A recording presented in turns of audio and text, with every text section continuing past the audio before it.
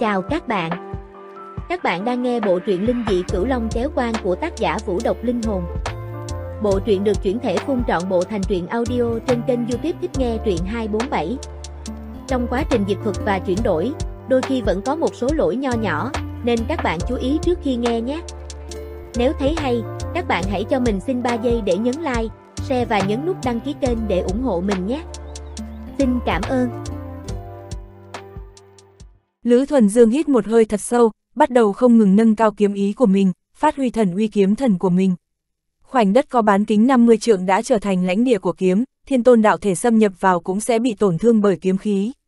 Mặc dù đã lùi ra rất xa, nhưng kiếm khí dữ dội vẫn khiến người khác phải kinh ngạc. Thần không thể chịu sỉ nhục, thái cổ kiếm thần lại càng coi thường sự tồn tại của tất cả chúng sinh. Kiếm pháp thiên tôn nổi tiếng của Lữ Thuần Dương có tên là Vạn Kiếm Quy Tông, mà bây giờ, ông ta đã lĩnh hội được kiếm đạo thần kiếm thái cổ, là tịch diệt hư không chảm. Phối hợp với kiếm ý hỗn độn, mỗi nhát kiếm thần kiếm của Lữ Thuần Dương có thể phá vỡ hư không và hủy diệt vạn vật. Đây là thần uy thần kiếm của Lữ Thuần Dương sao? Lưu Phong Sương kinh ngạc hỏi. Đúng thật không thể không ngạc nhiên, nếu không phải Lữ Thuần Dương muốn giữ kiếm tâm, không muốn phạm quá nhiều sát nghiệp, vừa rồi chỉ cần ông ta bộc phát thần uy kiếm thần, đại quân ma đạo chỉ cần một mình ông ta cũng đủ để diệt phong. Kiếm là vật giết chóc, bướng bỉnh khó thuần phục, sát nghiệp quá nặng, một khi kiếm tâm mất khống chế thì sẽ sinh ra kiếm ma, lúc đó sẽ không còn là người chế ngự kiếm nữa mà là kiếm khống chế người. Thứ Lữ Thuần Dương muốn thách đấu nhất khi đến cổ địa miêu cương chính là ngạo mạn ma tôn, một khi thành công, kiếm tâm của ông ta sẽ trong sạch và không bao giờ sinh ra kiếm ma nữa, vậy thì sau khi hóa thân thành kiếm vẫn sẽ giữ được tôn nghiêm của con người. Đáng tiếc ông ta đã tới muộn, ngạo mạn ma tôn đã bị tôi giành trước một bước mà giết chết rồi. Không ngờ tới Lữ Thuần Dương đã lợi hại như vậy. Khương Tuyết Dương cũng vô cùng kinh ngạc. Lâm tướng quân, cô ấy có thể đánh bại Lữ Thuần Dương không? Lưu Phong Sương hỏi, trận chiến giữa Thái Cổ Thần Ma thì chỉ có thiên đạo mới biết kết quả. Khương Tuyết Dương lắc đầu đáp, lúc này đây, thiên tôn nhân đạo đang chú ý cuộc đối đầu giữa kiếm thần cùng tử thần, đã không có người để phòng tàn binh bại tướng ma đạo ở hậu phương nữa. Khương Tuyết Dương đi đến một tảng đá và nhìn xuống thủy họa ở bên dưới. Trong khi Thái Cổ Kiếm Thần đang thể hiện sức mạnh của mình, thì tử thần của Thái Cổ Minh Giới cũng đang nâng cao chiến ý của bản thân. Chiếc áo choàng đen của Thùy Hỏa tự bay phấp phới phía sau mà không cần tới gió, tạo ra âm thanh lạch cạch. Ngọn lửa đen trong mắt cô đang bùng cháy điên cuồng, tạo hình của bộ chiến giáp tử thần truyền thuyết về người bất tử, mỗi bộ mảnh giáp đều toát ra sự chết chóc lạnh lẽo. Ngọn lửa thù hận, hãy quay về nào, mà đạo đệ tử vạn thế thế thiên hồng, huynh đệ tỉ muội của ta. Thùy Hỏa giơ cao lưỡi hái tử thần, triệu hồi oán niệm chết chóc do các đệ tử ma đạo đã chết trong trận chiến để lại. Sau đó, Khương Tuyết Dương bắt đầu cảm thấy nhiệt độ xung quanh bắt đầu giảm xuống nhanh chóng, oán niệm của những đệ tử ma đạo đã chết trong trận chiến nhanh chóng hội tụ trên lưỡi hái tử thần trong tay Thủy Hỏa. Đệ tử ma đao dũng cảm không sợ chết, không có nghĩa là có thể bình thản tiếp nhận cái chết. Trái lại, sau khi chết, mỗi đệ tử ma đạo vẫn mang trong mình sát ý vô tận. Sát ý này biến thành oán niệm chết chóc sau khi họ chết đi. Họ mất đi thân xác, mất thần hồn, nỗi oán niệm chết chóc đã định sẵn là sẽ tiêu tan giữa trời đất này. chương 900, Tử thần cùng kiếm thần 2. Tuy nhiên, khi tử thần bắt đầu triệu hồi với lưỡi hái tử thần, những oán niệm chết chóc này lần lượt dồn vào nó, biến thành ngọn lửa đen thiêu đốt thần hồn. Đây là sức mạnh thực sự của lưỡi hái tử thần, hấp thụ oán niệm chết chóc của đồng minh và đốt cháy thần hồn của kẻ thù. Mọi người đều có thể quên đi những đệ tử ma đạo đã chết trong trận chiến, nhưng tử thần thì không thể tử thần sẽ biến từng chút oán niệm của họ hóa thành sức mạnh và làm trọng thương thần hồn của kẻ thù. Vốn dĩ, Thùy Họa mới hoàn thành 8 lần niết bàn không bao lâu, chiến lực vẫn chưa đủ để đạt đến thế cân bằng với thái cổ kiếm thần. Thế nhưng, sau khi cô ấy hấp thụ oán niệm chết chóc của những đệ tử ma đạo đã chết trong trận chiến với lưỡi hái tử thần, khoảng cách về sức mạnh chiến đấu giữa cô ấy và Lữ Thuần Dương đã thu hẹp nhanh chóng, thắng bại là chuyện khó đoán định được. Tạ Lưu Vân không thể kìm nén nỗi thấp thỏm trong lòng, cố gắng sử dụng kiếm lục nhậm âm dương để dò xét huyền cơ. Sư đệ, không thể làm như vậy. Trương Đạo Lăng nói, ta muốn thử một chút. Tạ Lưu Vân đáp, không cần thử, loại chiến đấu ở cấp bậc này thì chỉ có thiên đạo mới có thể thấu được huyền cơ, nếu như người cố sức dò xét, nhẹ thì đạo tâm vỡ nát, nghiêm trọng hơn thì sẽ là họa sát thân. Trương Đạo Lăng thở dài nói, sư huynh nói đúng, là Lưu Vân lỗ mãng rồi. Nói xong, tạ Lưu Vân thu kiếm rồi đứng bên cạnh Trương Đạo Lăng. Thiên tôn nhân đạo im như chết, đệ tử ma đạo trên phế tích của đỉnh Tam Ô cũng lẳng lặng như tờ. Mọi người đều đang nín thở chờ đợi, tử thần của Thái Cổ Minh Giới, đối đầu với kiếm thần của Thái Cổ Thần Giới. Không còn nghi ngờ gì nữa, đây là một cuộc đấu tay đôi không nằm trong hệ thống tu hành đạo môn. Hơn nữa, đây còn là một cuộc quyết đấu không nên xuất hiện vào lúc này. Trận chiến phong thần vẫn chưa bắt đầu và trận chiến giữa những đạo tổ mạnh nhất lẽ ra không nên xuất hiện trên nhân gian vào lúc này. Theo ghi chép của đạo tàng hậu thế, không phải sự kết thúc của cổ địa miêu cương mở ra sự bắt đầu của trận phong thần, mà là cuộc chiến giữa tử thần và kiếm thần. Trận quyết chiến của hai đạo tổ mạnh nhất sóng lên hồi chống cho trận chiến phong thần. Lữ Thuần Dương tay cầm kiếm thanh sách, đi về phía Thủy Hỏa. Thủy Hỏa tay cầm lưỡi hái tử thần, cũng đồng thời tiến về phía Lữ Thuần Dương. Lưỡi hái cũng là đao, đao pháp này được gọi là thu hoạch linh hồn. Kiếm là chủ của trăm binh khí, còn đao là bá vương của trăm binh khí. Ngang bướng như một thanh kiếm, bá khí như một thanh đao. Đây là một trận quyết đấu đỉnh cao giữa kiếm và đao, mặc dù kiếm đạo thái cổ là vô song, nhưng đạo giết chóc của các ngọn sóng sau cũng không nên bị đánh giá thấp. Kiếm đạo là vô tận, nhưng đao đạo lại có khả năng vô hạn. Lữ Thuần Dương đi rất chậm, mỗi sự thay đổi của ion không khí trong không khí đều không thể thoát khỏi sự cảm nhận của ông ta. Kiếm ý của ông ta đã trở nên dày đặc đến mức gần như ngưng động lại, sát khí của ông ta thậm chí còn dữ dội hơn thế nữa. Kiếm thanh sách trong tay ông ta run lên một cách phấn khích. Lúc đầu, kiếm thanh sách còn không muốn bị Lữ Thuần Dương điều khiển, nhưng giờ nó tự hào vò là vũ khí của Lữ Thuần Dương. Thùy Hỏa cũng đi rất chậm, mỗi bước đi đều nặng trĩu. Ngọn lửa đen của lưỡi hái tử thần đang cháy lên điên cuồng, giống với đôi mắt của cô. Vẻ mặt của cô ấy có vẻ lạnh lùng băng giá, nhưng một ngọn lửa đã hừng hực bùng cháy trong trái tim cô ấy. Chiếc áo choàng đen sau lưng được thắt chặt và kéo thẳng lại, sức mạnh của tử thần kết hợp với đạo phá quân khiến cơ thể của Thùy Hỏa tràn đầy sát khí hủy diệt không thể ngăn cản. Khi khoảng cách giữa hai người chỉ còn 5 trượng cuối cùng, họ dừng lại cùng một lúc. Trong trận chiến của đạo tổ mạnh nhất, năm trượng đã là khu vực cấm tuyệt đối, nếu rút ngắn nửa điểm nữa, đó sẽ là lĩnh vực cấm kỵ của thần nơi quyết định định sinh tử trong phút chốc. Lúc đó tôi giết ngạo mạn ma tôn, chính là đợi sau khi hắn bước vào phạm vi năm trượng trước mặt tôi, tôi mới bắt đầu ra tay. Hiển nhiên, kiếm thần cùng tử thần không có ý định đánh một trận tiêu hao sinh khí, cũng không có ý định ở trước mặt chúng chiến tướng làm lộ uy lực của thái cổ thần ma. Thời gian chậm rãi trôi qua, không ai vội vàng ra tay. Đông nhạc Thái Sơn Đại Đế mất đi sự bình tĩnh của trước đây, hỏa long chân nhân bắt đầu nuốt nước bọt, bàn tay cầm kiếm của tạ Lưu Vân cũng khẽ run lên. Trương Đạo Lăng dường như vẫn đứng yên bất động, nhưng ống tay áo rộng của ông ta đã tự phồng lên mà không có gió. So với phản ứng của thiên tôn nhân đạo, Khương Tuyết Dương, người giỏi nhẫn nhịn nhất luôn giữ một vẻ mặt bình tĩnh.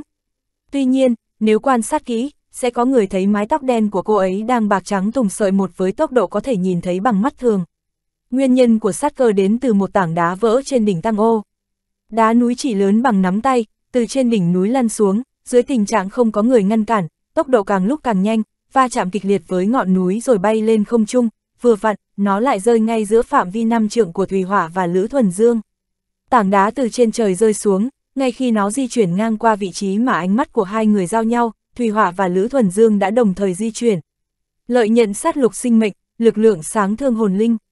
Hỗn độn kiếm ý, không có gì không thể chém. Lưỡi hái của Thùy Hỏa xoay tròn, bùng phát ra một vòng ánh lửa đen. Kiếm thanh sách của Lữ Thuần Dương phóng ra, những bông hoa màu xanh lam xuất hiện trên mũi kiếm. Mỗi một bông hoa rơi vào vòng tròn lửa đen, thì tốc độ quay của lưỡi hái tử thần sẽ chậm lại một chút. Đến khi bông hoa thứ 49 rơi xuống, vầng quang tan biến. Lữ Thuần Dương một kiếm đâm xuyên cơ thể của Thùy Hỏa. chương 901, Đại quân tử thần 1. Lưỡi hái tử thần mà Thùy Hỏa sử dụng là một thanh đao dài, không kịp đỡ đòn tất sát bất ngờ của Lữ Thuần Dương. Chỉ nghe thấy một tiếng nổ lớn vang lên, gương hộ tâm trên chiến giáp tử thần đã bị kiếm thanh sách một nhát chém vỡ vụn, sau đó thân kiếm như trúc gãy, cắm thẳng vào ngực Thùy Hỏa. Thùy Hỏa bay ngược về phía sau, Lữ Thuần Dương cầm kiếm cắm vào ngực cô, đuổi theo không rời. Lữ Thuần Dương đã viên mãn đại thành thần kiếm, kiếm khí điên cuồng rót vào cơ thể Thủy Hỏa dọc theo miệng vết thương, làm bộc phát nguy cơ nổ tung của kiếm khí, lượng hình kiếm khí vô tận như rắn nước xé toạc, phá hoại và nổ tung bên trong cơ thể Thủy Hoa. Cơ thể bất tử của tử thần cũng không thể chịu nổi kiếm khí của Lữ Thuần Dương xâm nhập vào cơ thể, kinh mạch cùng máu thịt trong cơ thể bị kiếm khí làm cho rối loạn, sinh cơ tiêu hao với tốc độ ngày càng nhanh. Thùy Họa sử dụng hồn năng của mình để chữa trị vết thương, nhưng tốc độ chữa trị của hồn năng thua xa tốc độ hủy diệt của kiếm khí. Mắt thấy sinh cơ sắp sửa tiêu hao cạn kiệt, Thùy Họa từ bỏ việc đối kháng lại với kiếm khí, đốt cháy thần hồn của mình, đao quang của lưỡi hái tử thần sáng rực lên. Theo tiếng hét lớn của cô, lưỡi hái tử thần biến thành một vầng trăng khuyết trên không trung, chém về phía thân trên của Lữ Thuần Dương. Cơ thể tử thần còn có thể được hồi phục bằng hồn năng, kiếm thể của Lữ Thuần Dương muốn phục hồi lại thì rất khó, vì vậy ngay cả khi ông ta có thể trực tiếp tiêu hao hết sinh cơ của Thùy Họa, thì ông ta cũng không sẵn lòng chịu đựng một nhát chí mạng của lưỡi hái tử thần. Lữ Thuần Dương rút kiếm ra đỡ, kiếm thanh sách và lưỡi hái tử thần va chạm nhau trong không trung, kiếm khí cùng đao cương một tác động với nhau làm bùng lên năng lượng xung kích hủy thiên diệt địa. Thùy Họa vốn đã bị thương nặng, sau cuộc chạm chán này, cơ thể cô bay ra như diều đứt dây.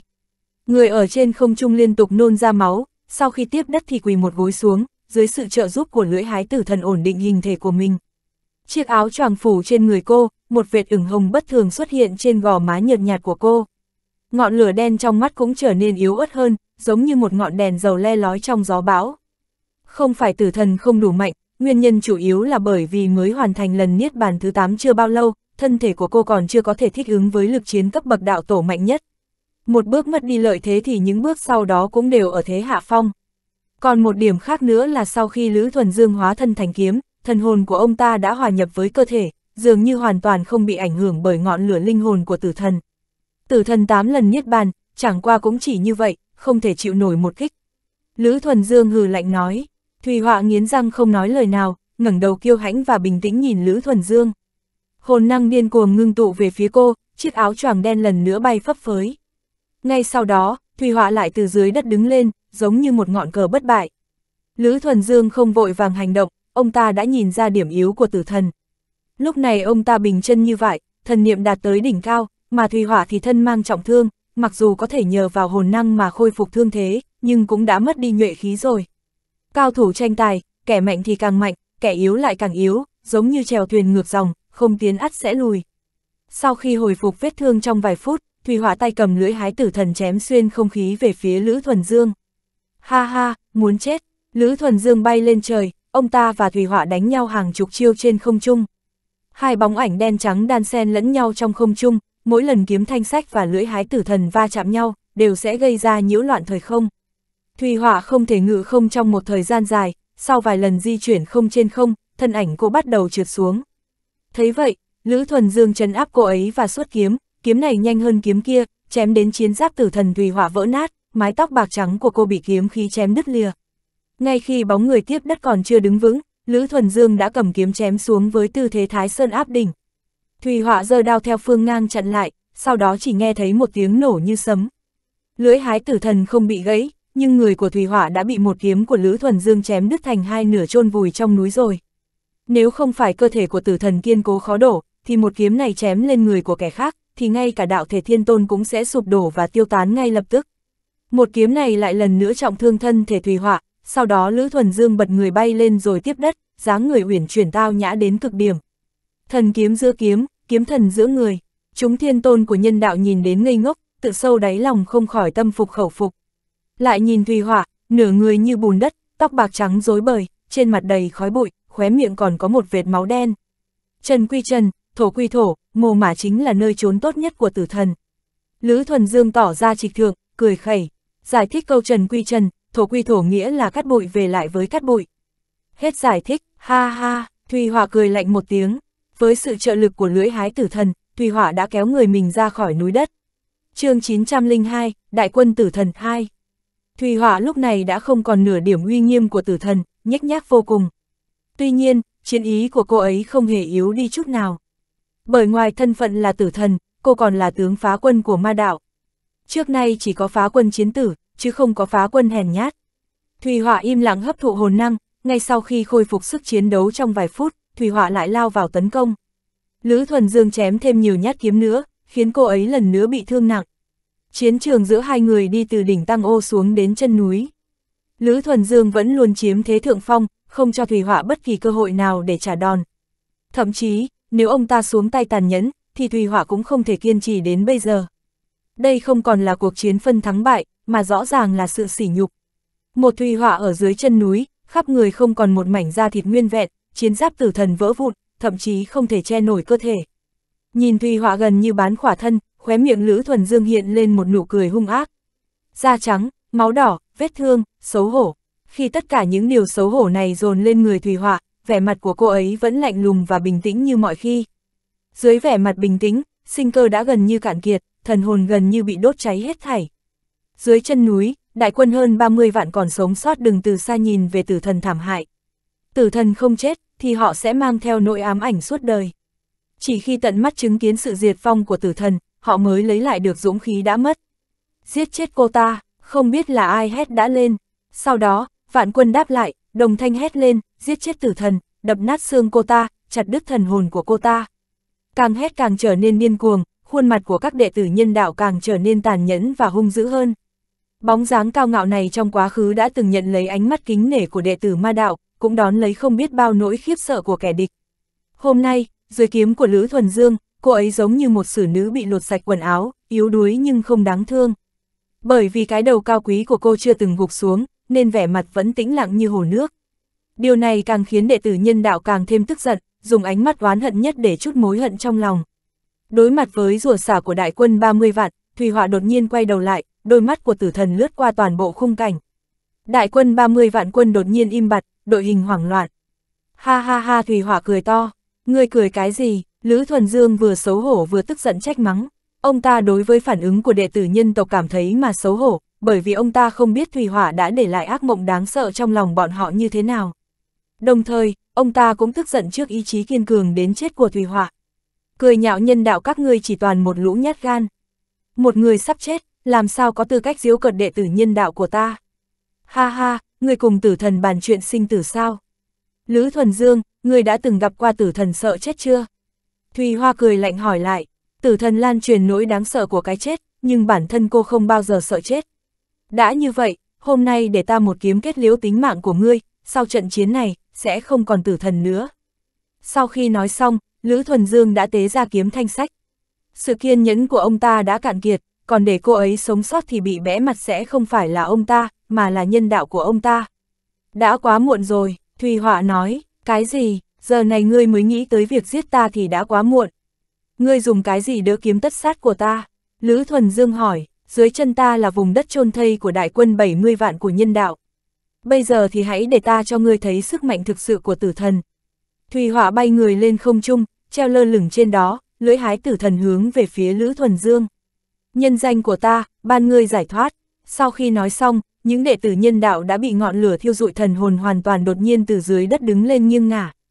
Thứ linh hồn chi hỏa thiêu không phải thân thể của họ, mà đốt cháy thần hồn của họ, vì vậy thi thể của những đệ tử nhân đạo bị thủy hỏa giết chết vẫn còn nguyên vẹn, khi đứng lên thì giống như lúc họ còn sống vậy.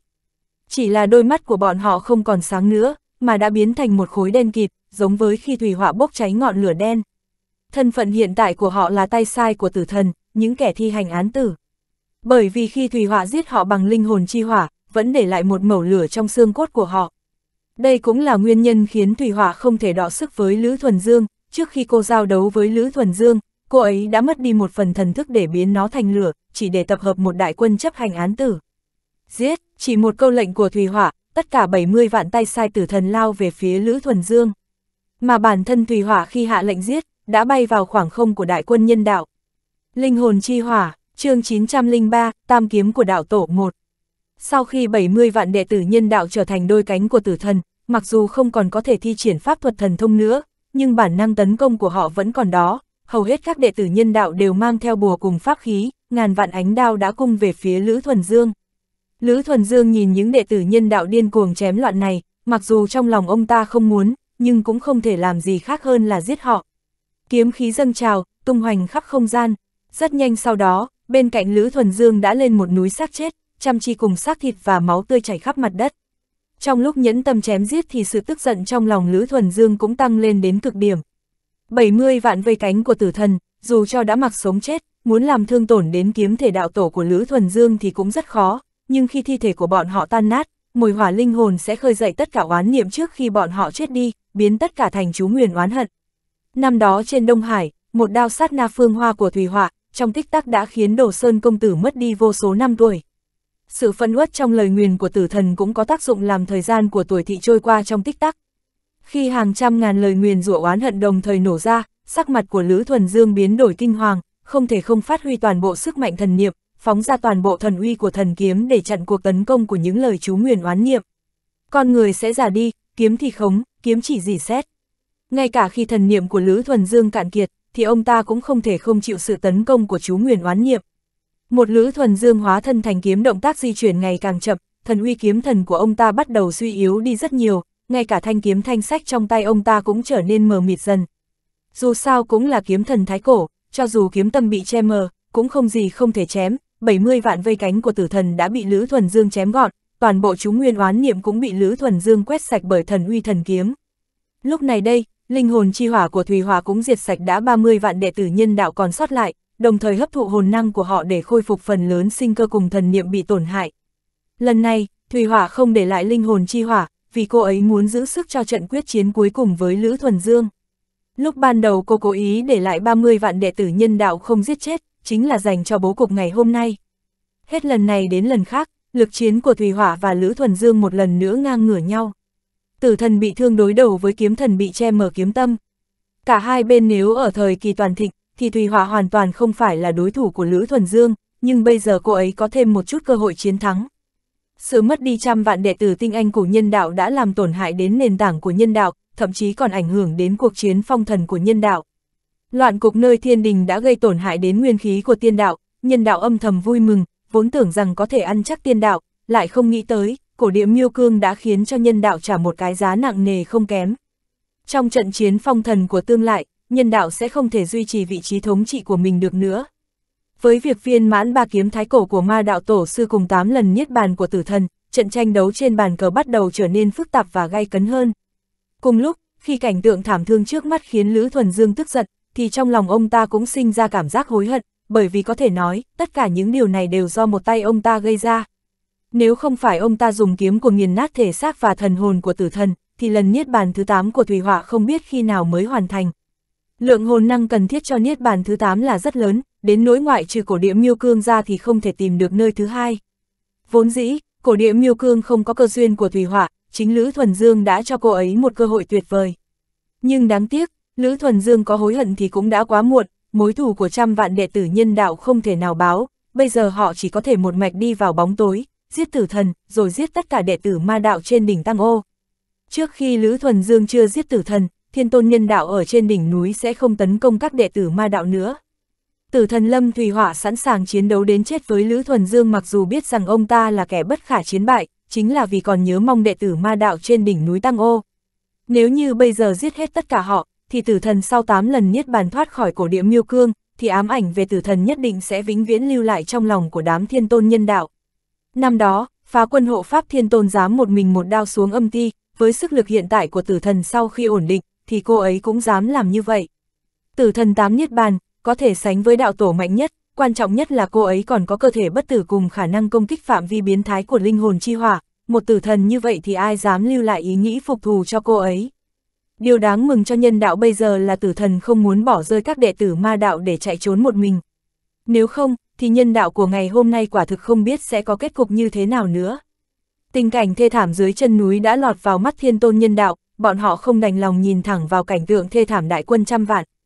Tôi đi giúp thuần dương sư huynh, tạ Lưu Vân nói, ai ra, tính tình của hắn không phải ngươi không biết, hắn làm sao có thể có người thứ ba xen vào quyết chiến sinh tử giữa hắn cùng tử thần, Trương Đạo Lăng nói Trương Thiên Sư nói không sai, thuần dương kiếm tiên tính cách cao ngạo, trận chiến này đúng là không ai có thể nhúng tay, nhưng mà, mệnh lệnh sư phụ thì khó làm trái, hỏa long chân nhân xuất trận, ta tin thuần dương kiếm tiên nhất định sẽ không cự tuyệt.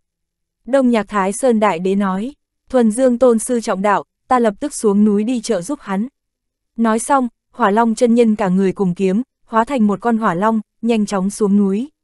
chương 904, Tam Kiếm của Đạo Tổ 2 dưới chân núi, tử thần và kiếm thần đang cố gắng hết sức để khóa chặt khí tức, thần niệm của đối phương cảm nhận được dao động thần niệm từ hỏa long chân nhân truyền đến, khóe miệng Thùy Họa nở một nụ cười, còn Lữ Thuần Dương thì cao mày lại có một sư phụ không tồi đấy, Thùy Họa nói.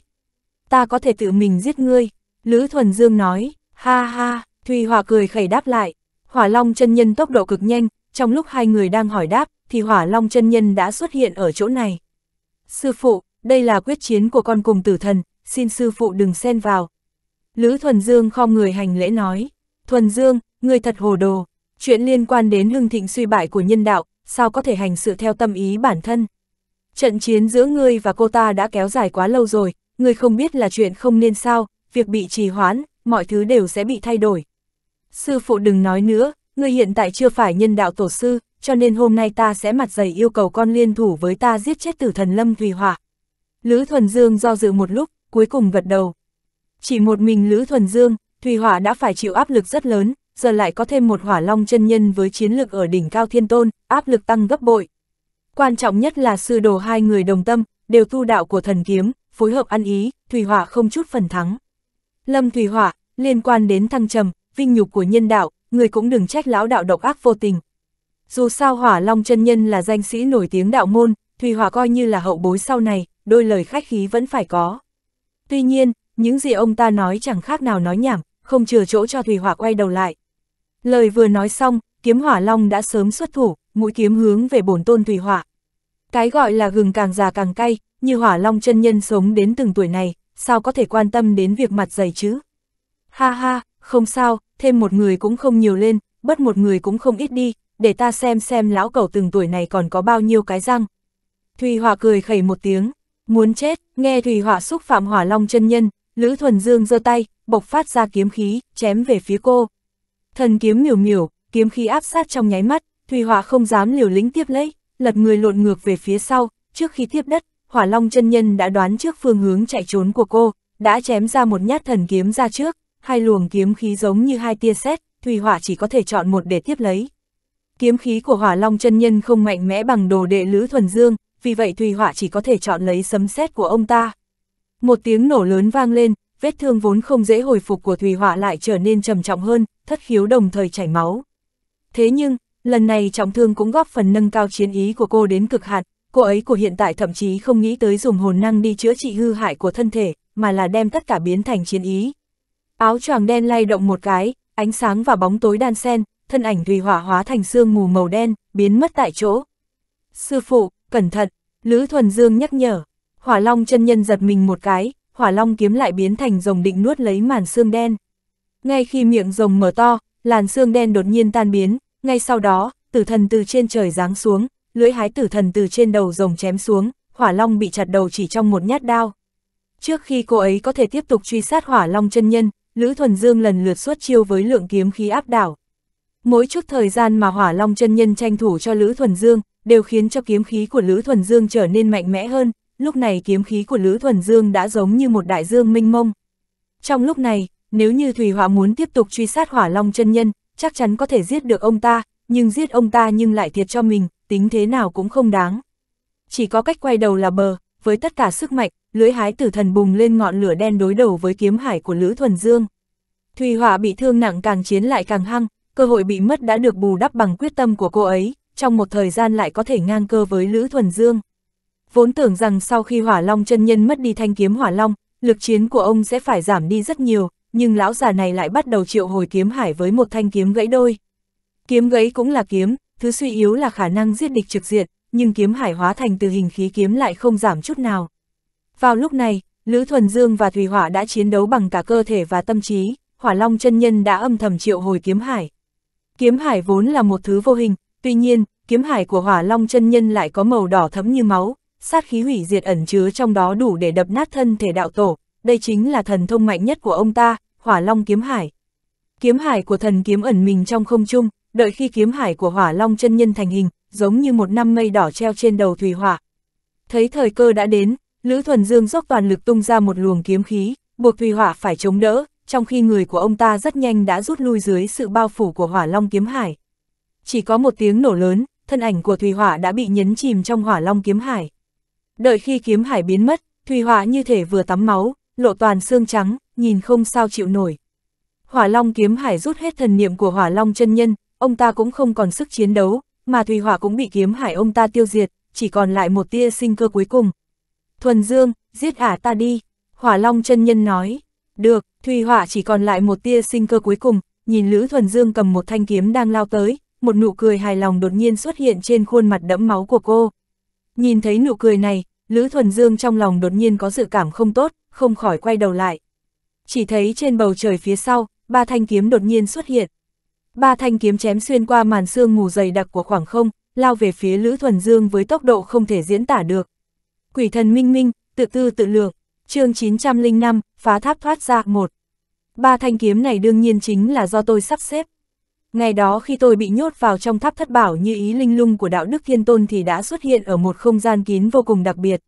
Không gian này tối tăm mờ mịt, khiến cho tôi có một loại ảo giác rằng nơi này hình như chính là huyền quan của bản thân. Trong lòng tôi liền nổi lên nghi ngờ, chẳng lẽ tháp thất bảo như ý linh lung này chính là một cái huyền quan của vị cổ thần nào đó. Không gian bên trong tháp bao la rộng lớn, cho dù thần niệm của tôi có thăm dò bất cứ hướng nào thì cũng không thể chạm đến biên giới. Giữa hư không có sương mù tối tăm mù mịt ẩn chứa những hung hiểm chưa biết trước được. Truyền thuyết kể lại rằng đạo đức thiên tôn đã phong ấn bảy thần khí vào bên trong tháp, dùng thần khí làm vật dẫn để tụ tập oán hận của những vị thần thượng cổ đã chết đi, chế tạo nên bảy vị thủ hộ giả. Mỗi một vị thủ hộ giả đều có chiến lược ở cấp bậc đạo tổ, một khi kinh động đến bọn họ thì chắc chắn sẽ bị đuổi giết điên cuồng, không chết không thôi. Trước khi vào đây đạo đức thiên tôn nói rằng đợi đến khi trận chiến tranh đoạt cơ duyên ở cổ địa miêu cương kết thúc thì sẽ thả tôi ra, nhưng tôi biết rằng tôi sẽ không thể đợi đến ngày đó, cũng không thể đợi tiếp được nữa. Bởi vì bên trong cổ địa miêu cương đã không còn cơ duyên nữa, nguyên lực của thất đại tâm đều bị tôi lấy hết rồi. Một khi để người khác biết được chân tướng thì nhất định sẽ ra tay với đệ tử ma đạo. Mà tôi cũng sẽ bị phong ấn ở bên trong tháp thất bảo như ý linh lung này mãi mãi. Trước kia Thùy Hỏa đã từng nói cô ấy sẽ tham gia vào trận chiến cổ địa, tôi vô cùng lo lắng cho sự sống chết của cô ấy. Cô ấy chỉ mới niết bàn 7 lần, mặc dù đã thức tỉnh lại ký ức nhưng làm sao có thể là đối thủ của Lữ Thuần Dương đã hóa thân vì kiếm, thức tỉnh số mệnh của Thái Cổ Kiếm Thần. Cổ địa miêu cương là trận chiến tranh giành cơ duyên cuối cùng, sau khi nó kết thúc thì trận chiến phong thần sẽ lập tức bắt đầu. Trận chiến lần này ma đạo không thể xuất ra hết toàn bộ tinh nhuệ được. Đình viện bắt đầu quần tinh và quy khư đều cần có chiến lược cấp bậc đạo tổ chấn thủ. Nguyên phượng tổ sư Hy Hòa và Yến Kỳ Lân Yến Thác là người bị tôi loại trừ đầu tiên, tiếp đó tôi lại loại trừ Bắc Minh Tú và Phong Chủ, bọn họ không thể rời khỏi Đông Hải, quy khư là căn cơ của ma đạo, không thể có bất kỳ sơ suất nào được. Như vậy xem ra thì chiến lược đỉnh phong mà Khương Tuyết Dương có thể xuất ra cũng rất ít. A Lê, Ngạo Phong, Lưu Phong Sương, Liễu Chi Nhung, Thùy Hỏa và cả kiếm linh thuần quân đã quay về ma đạo trước đó. Cổ địa miêu cương không thích hợp để đại quân chấn giữ, cho nên đại quân ma đạo tham chiến nhất định cũng sẽ không quá nhiều, 50 vạn đã là cực hạn. Tôi càng nghĩ càng cảm thấy lo lắng cho ma đạo, cổ địa miêu cương là cơ duyên cuối cùng, nhân đạo nhất định sẽ dồn tinh lực vào, chiến tướng thiên tôn cũng sẽ tham gia với một quy mô lớn. Một khi nhân đạo và ma đạo bắt đầu chiến đấu ở cổ địa miêu cương thì đệ tử ma đạo sẽ gặp phải kiếp nạn toàn quân bị diệt. Mà đây dường như là chuyện nhất định sẽ xảy ra, bởi vì một mình tôi đã cướp toàn hết toàn bộ cơ duyên ở cổ địa miêu cương. Từ khi ma đạo tái xuất đến nay bà ngoại thì không ngừng có được cơ duyên nhưng thực ra một nửa trong số đó là do ma đạo tổ sư tính kế mà cướp được còn một nửa là nhờ công lao của mệnh Bàn sát phá lang. Sát phá lang tam phương tứ chính không thể nghịch chuyển, được thể hiện trực tiếp và rõ ràng nhất trên mặt cơ duyên. Nếu như không có lực lượng của mệnh bàn sát phá lang thì cho dù ma đạo có mạnh thế nào cũng không thể vùng dậy giữa vòng vây của cường địch được, thậm chí đến tư cách để tham gia trận chiến phong thần cũng không có. Nhưng mà trận chiến phong thần cuối cùng là so bì thực lực của cả đạo môn, chứ không phải cơ duyên, lực lượng của mệnh bàn đối với chiến cục cũng có giới hạn. Đợi đến khi thiên đạo quay trở về thì lực lượng của mệnh bàn cũng sẽ bị thiên đạo chấn áp, trở thành thùng rộng kêu to, việc này đã được kiểm chứng rõ ràng từ 3.000 năm trước. Hai đạo nhân tiên hoàn toàn chịu thiệt trong việc tranh đoạt cơ duyên, nhưng mà bản thân bọn họ đã đứng ở vị trí mà ma đạo không thể nào so bì được. Ma đạo trải qua sinh tử, nỗ lực cướp đoạt cơ duyên, bất quá cũng chỉ để đứng cùng một vị trí với bọn họ, tranh thủ một cơ hội được cạnh tranh công bằng trên ván cờ này. Tôi không hề ngây thơ cho rằng đạo đức thiên tôn sẽ tuân thủ lời hứa, ngay từ khi bắt đầu tôi đã nghĩ đến việc dựa vào thủ đoạn của bản thân để thoát ra khỏi cái lồng thất bảo như ý linh lung này. Bên trong tháp thất bảo như ý linh lung ngoại trừ mặt đất kiên cố dưới chân ra thì tôi không thể chạm đến được bất cứ giới hạn nào nữa, giống như bản thân rơi vào vạn dặm mây mù, không biết trời cao thế nào, đất rộng đến đâu. Khoảng không gian này chính là do tháp thất bảo như ý linh lung hóa thành, bầu trời bị sương mù hư không che phủ còn ẩn chứa 7 tầng kết giới thiên mạc. Kiếm đạo không có giới hạn, ba kiếm đạo thái cổ đã đại thành viên mãn chỉ đại diện cho việc tôi đã bước vào cảnh giới kiếm pháp của thái cổ thần ma. Kiếm của thái cổ thần ma, tụ họp nhật nguyệt tinh thần, kết hợp với vạn vật trong thiên địa, mỗi một kiếm đều có thế lôi đình vạn quân, kiếm pháp như thế này vạn quân khó cản, sát phạt tung hoành, đánh đâu thắng đó, không gì cản nổi. Nhưng nếu như muốn dùng một kiếm đã phá nát bảy tầng trời của tháp thất bảo như ý linh lung, chỉ với cảnh giới kiếm pháp của thái cổ thần ma căn bản không thể làm được. Trừ phi tôi có thể hợp nhất ba thanh kiếm thành một, sử dụng ra thiên đạo chi kiếm. chương 906, phá tháp thoát ra, 2. Thiên đạo chi kiếm, mỗi một kiếm đều có thể chém ra lực lượng bổn nguyên của hỗn độn, chém thẳng về phía trước không có điểm cuối, chém lên trời không có cực hạn, chém xuống dưới không có trở ngại, có thể tùy ý sai khiến theo tâm trí, cắt đứt hư không, chảm đoạn tinh hà. Với tu vi hiện tại của tôi vẫn còn quá sớm để nói đến việc tìm kiếm hợp nhất. Không thể dùng một kiếm để phá hủy bảy tầng trời vậy thì chỉ có thể phá vỡ từng tầng một mà thôi. Nhưng mà không gian bên trong tháp thất bảo như ý linh lung tràn đầy sương mù hư không, không thể ngự không phi hành, cho dù tôi có thực lực phá vỡ màn trời thì việc không thể phi hành đã trở thành khuyết điểm chí mạng. Trong khoảng thời gian tiếp theo tôi đã suy nghĩ hết đủ mọi thủ đoạn, mặc dù tôi đã phóng ra kiếm khí thần kiếm đến khoảng cách xa nhất thì cũng không thể chạm đến sự tồn tại của màn trời. Thời gian dần trôi qua đối với tôi mà nói thì mỗi một giây đều là một loại giày vò. Tôi chẳng thể làm gì nên đã bắt đầu chìm sâu vào bên trong áy náy, hối hận, nếu như tôi yên ổn làm một đạo tổ không có tim thì bọn Khương Tuyết Dương cũng sẽ không vì tôi mà gặp phải kiếp nạn sinh tử. Nhưng mà, tôi có thể chịu được sự thống khổ khi không có tim, chịu được loại cảm giác cô độc, đau khổ sống không bằng chết, nhưng ma đạo phải làm sao? Vốn ma đạo đã là bên có thực lực yếu nhất trong tam đạo, nếu như bản thân lại không có sự tồn tại của chiến lực trí cường đạo tổ thì trong trận chiến phong thần ở tương lai làm sao có thể tồn tại.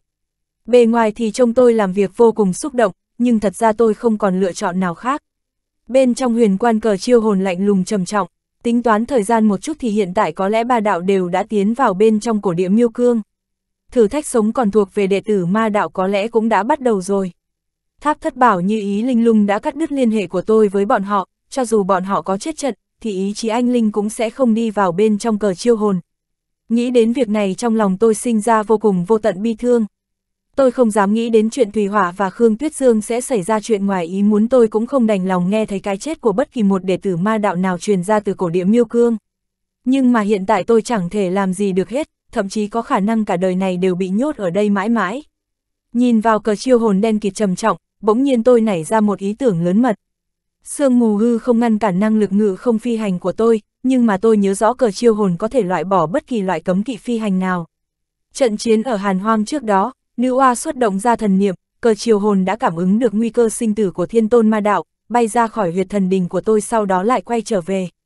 Nghĩ đến đây, tôi lập tức ngưng thần, mở ra huyệt thần đình, cảm ứng được sự triệu hoán của tôi, cờ chiêu hồn hóa thành một đạo khí đen, bay ra khỏi huyền quan, cắm ở trước mặt tôi.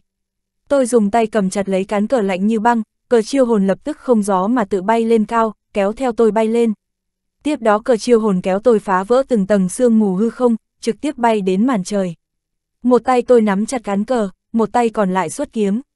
Màn trời bên trong tháp thất bảo như ý linh lung không phải là màn trời thật sự, tôi dùng ma kiếm dễ dàng phá vỡ kết giới thiên mạc, đến tầng trời thứ nhất.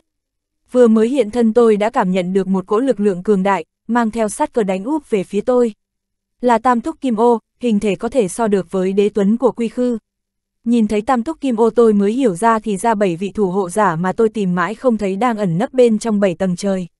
Nếu là trước đây, đối mặt với tam túc kim ô tôi chỉ có thể liều mạng chạy trối chết, nhưng mà hiện tại tôi chỉ cần dựa vào ma kiếm trong tay là đã có thể đánh chết nó. Khó khăn lớn nhất mà tháp thất bảo như ý linh lung tạo cho tôi chính là không thể ngự không sau khi giải quyết được vấn đề này thì những trận chiến đấu tiếp đó đối với tôi mà nói là vô cùng đơn giản. Dùng ma kiếm để diệt sát tam túc kim ô không hề tốn quá nhiều thời gian của tôi, sau đó tôi cầm cờ phá mở tầng thiên mạc thứ hai, đối thủ quyết chiến là một vị thần thượng cổ tay cầm côi tiên thứ. Vị thần tượng cổ này có chiến lực mạnh hơn tam túc kim ô vài phần, nhưng còn xa mới là đối thủ của tôi.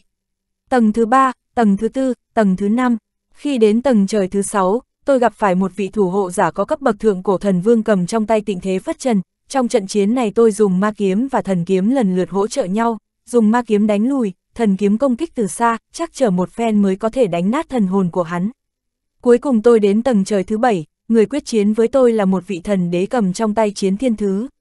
Điều khiến tôi kinh ngạc là vị thần đế này phát ra chiến lực trí cường đạo tổ.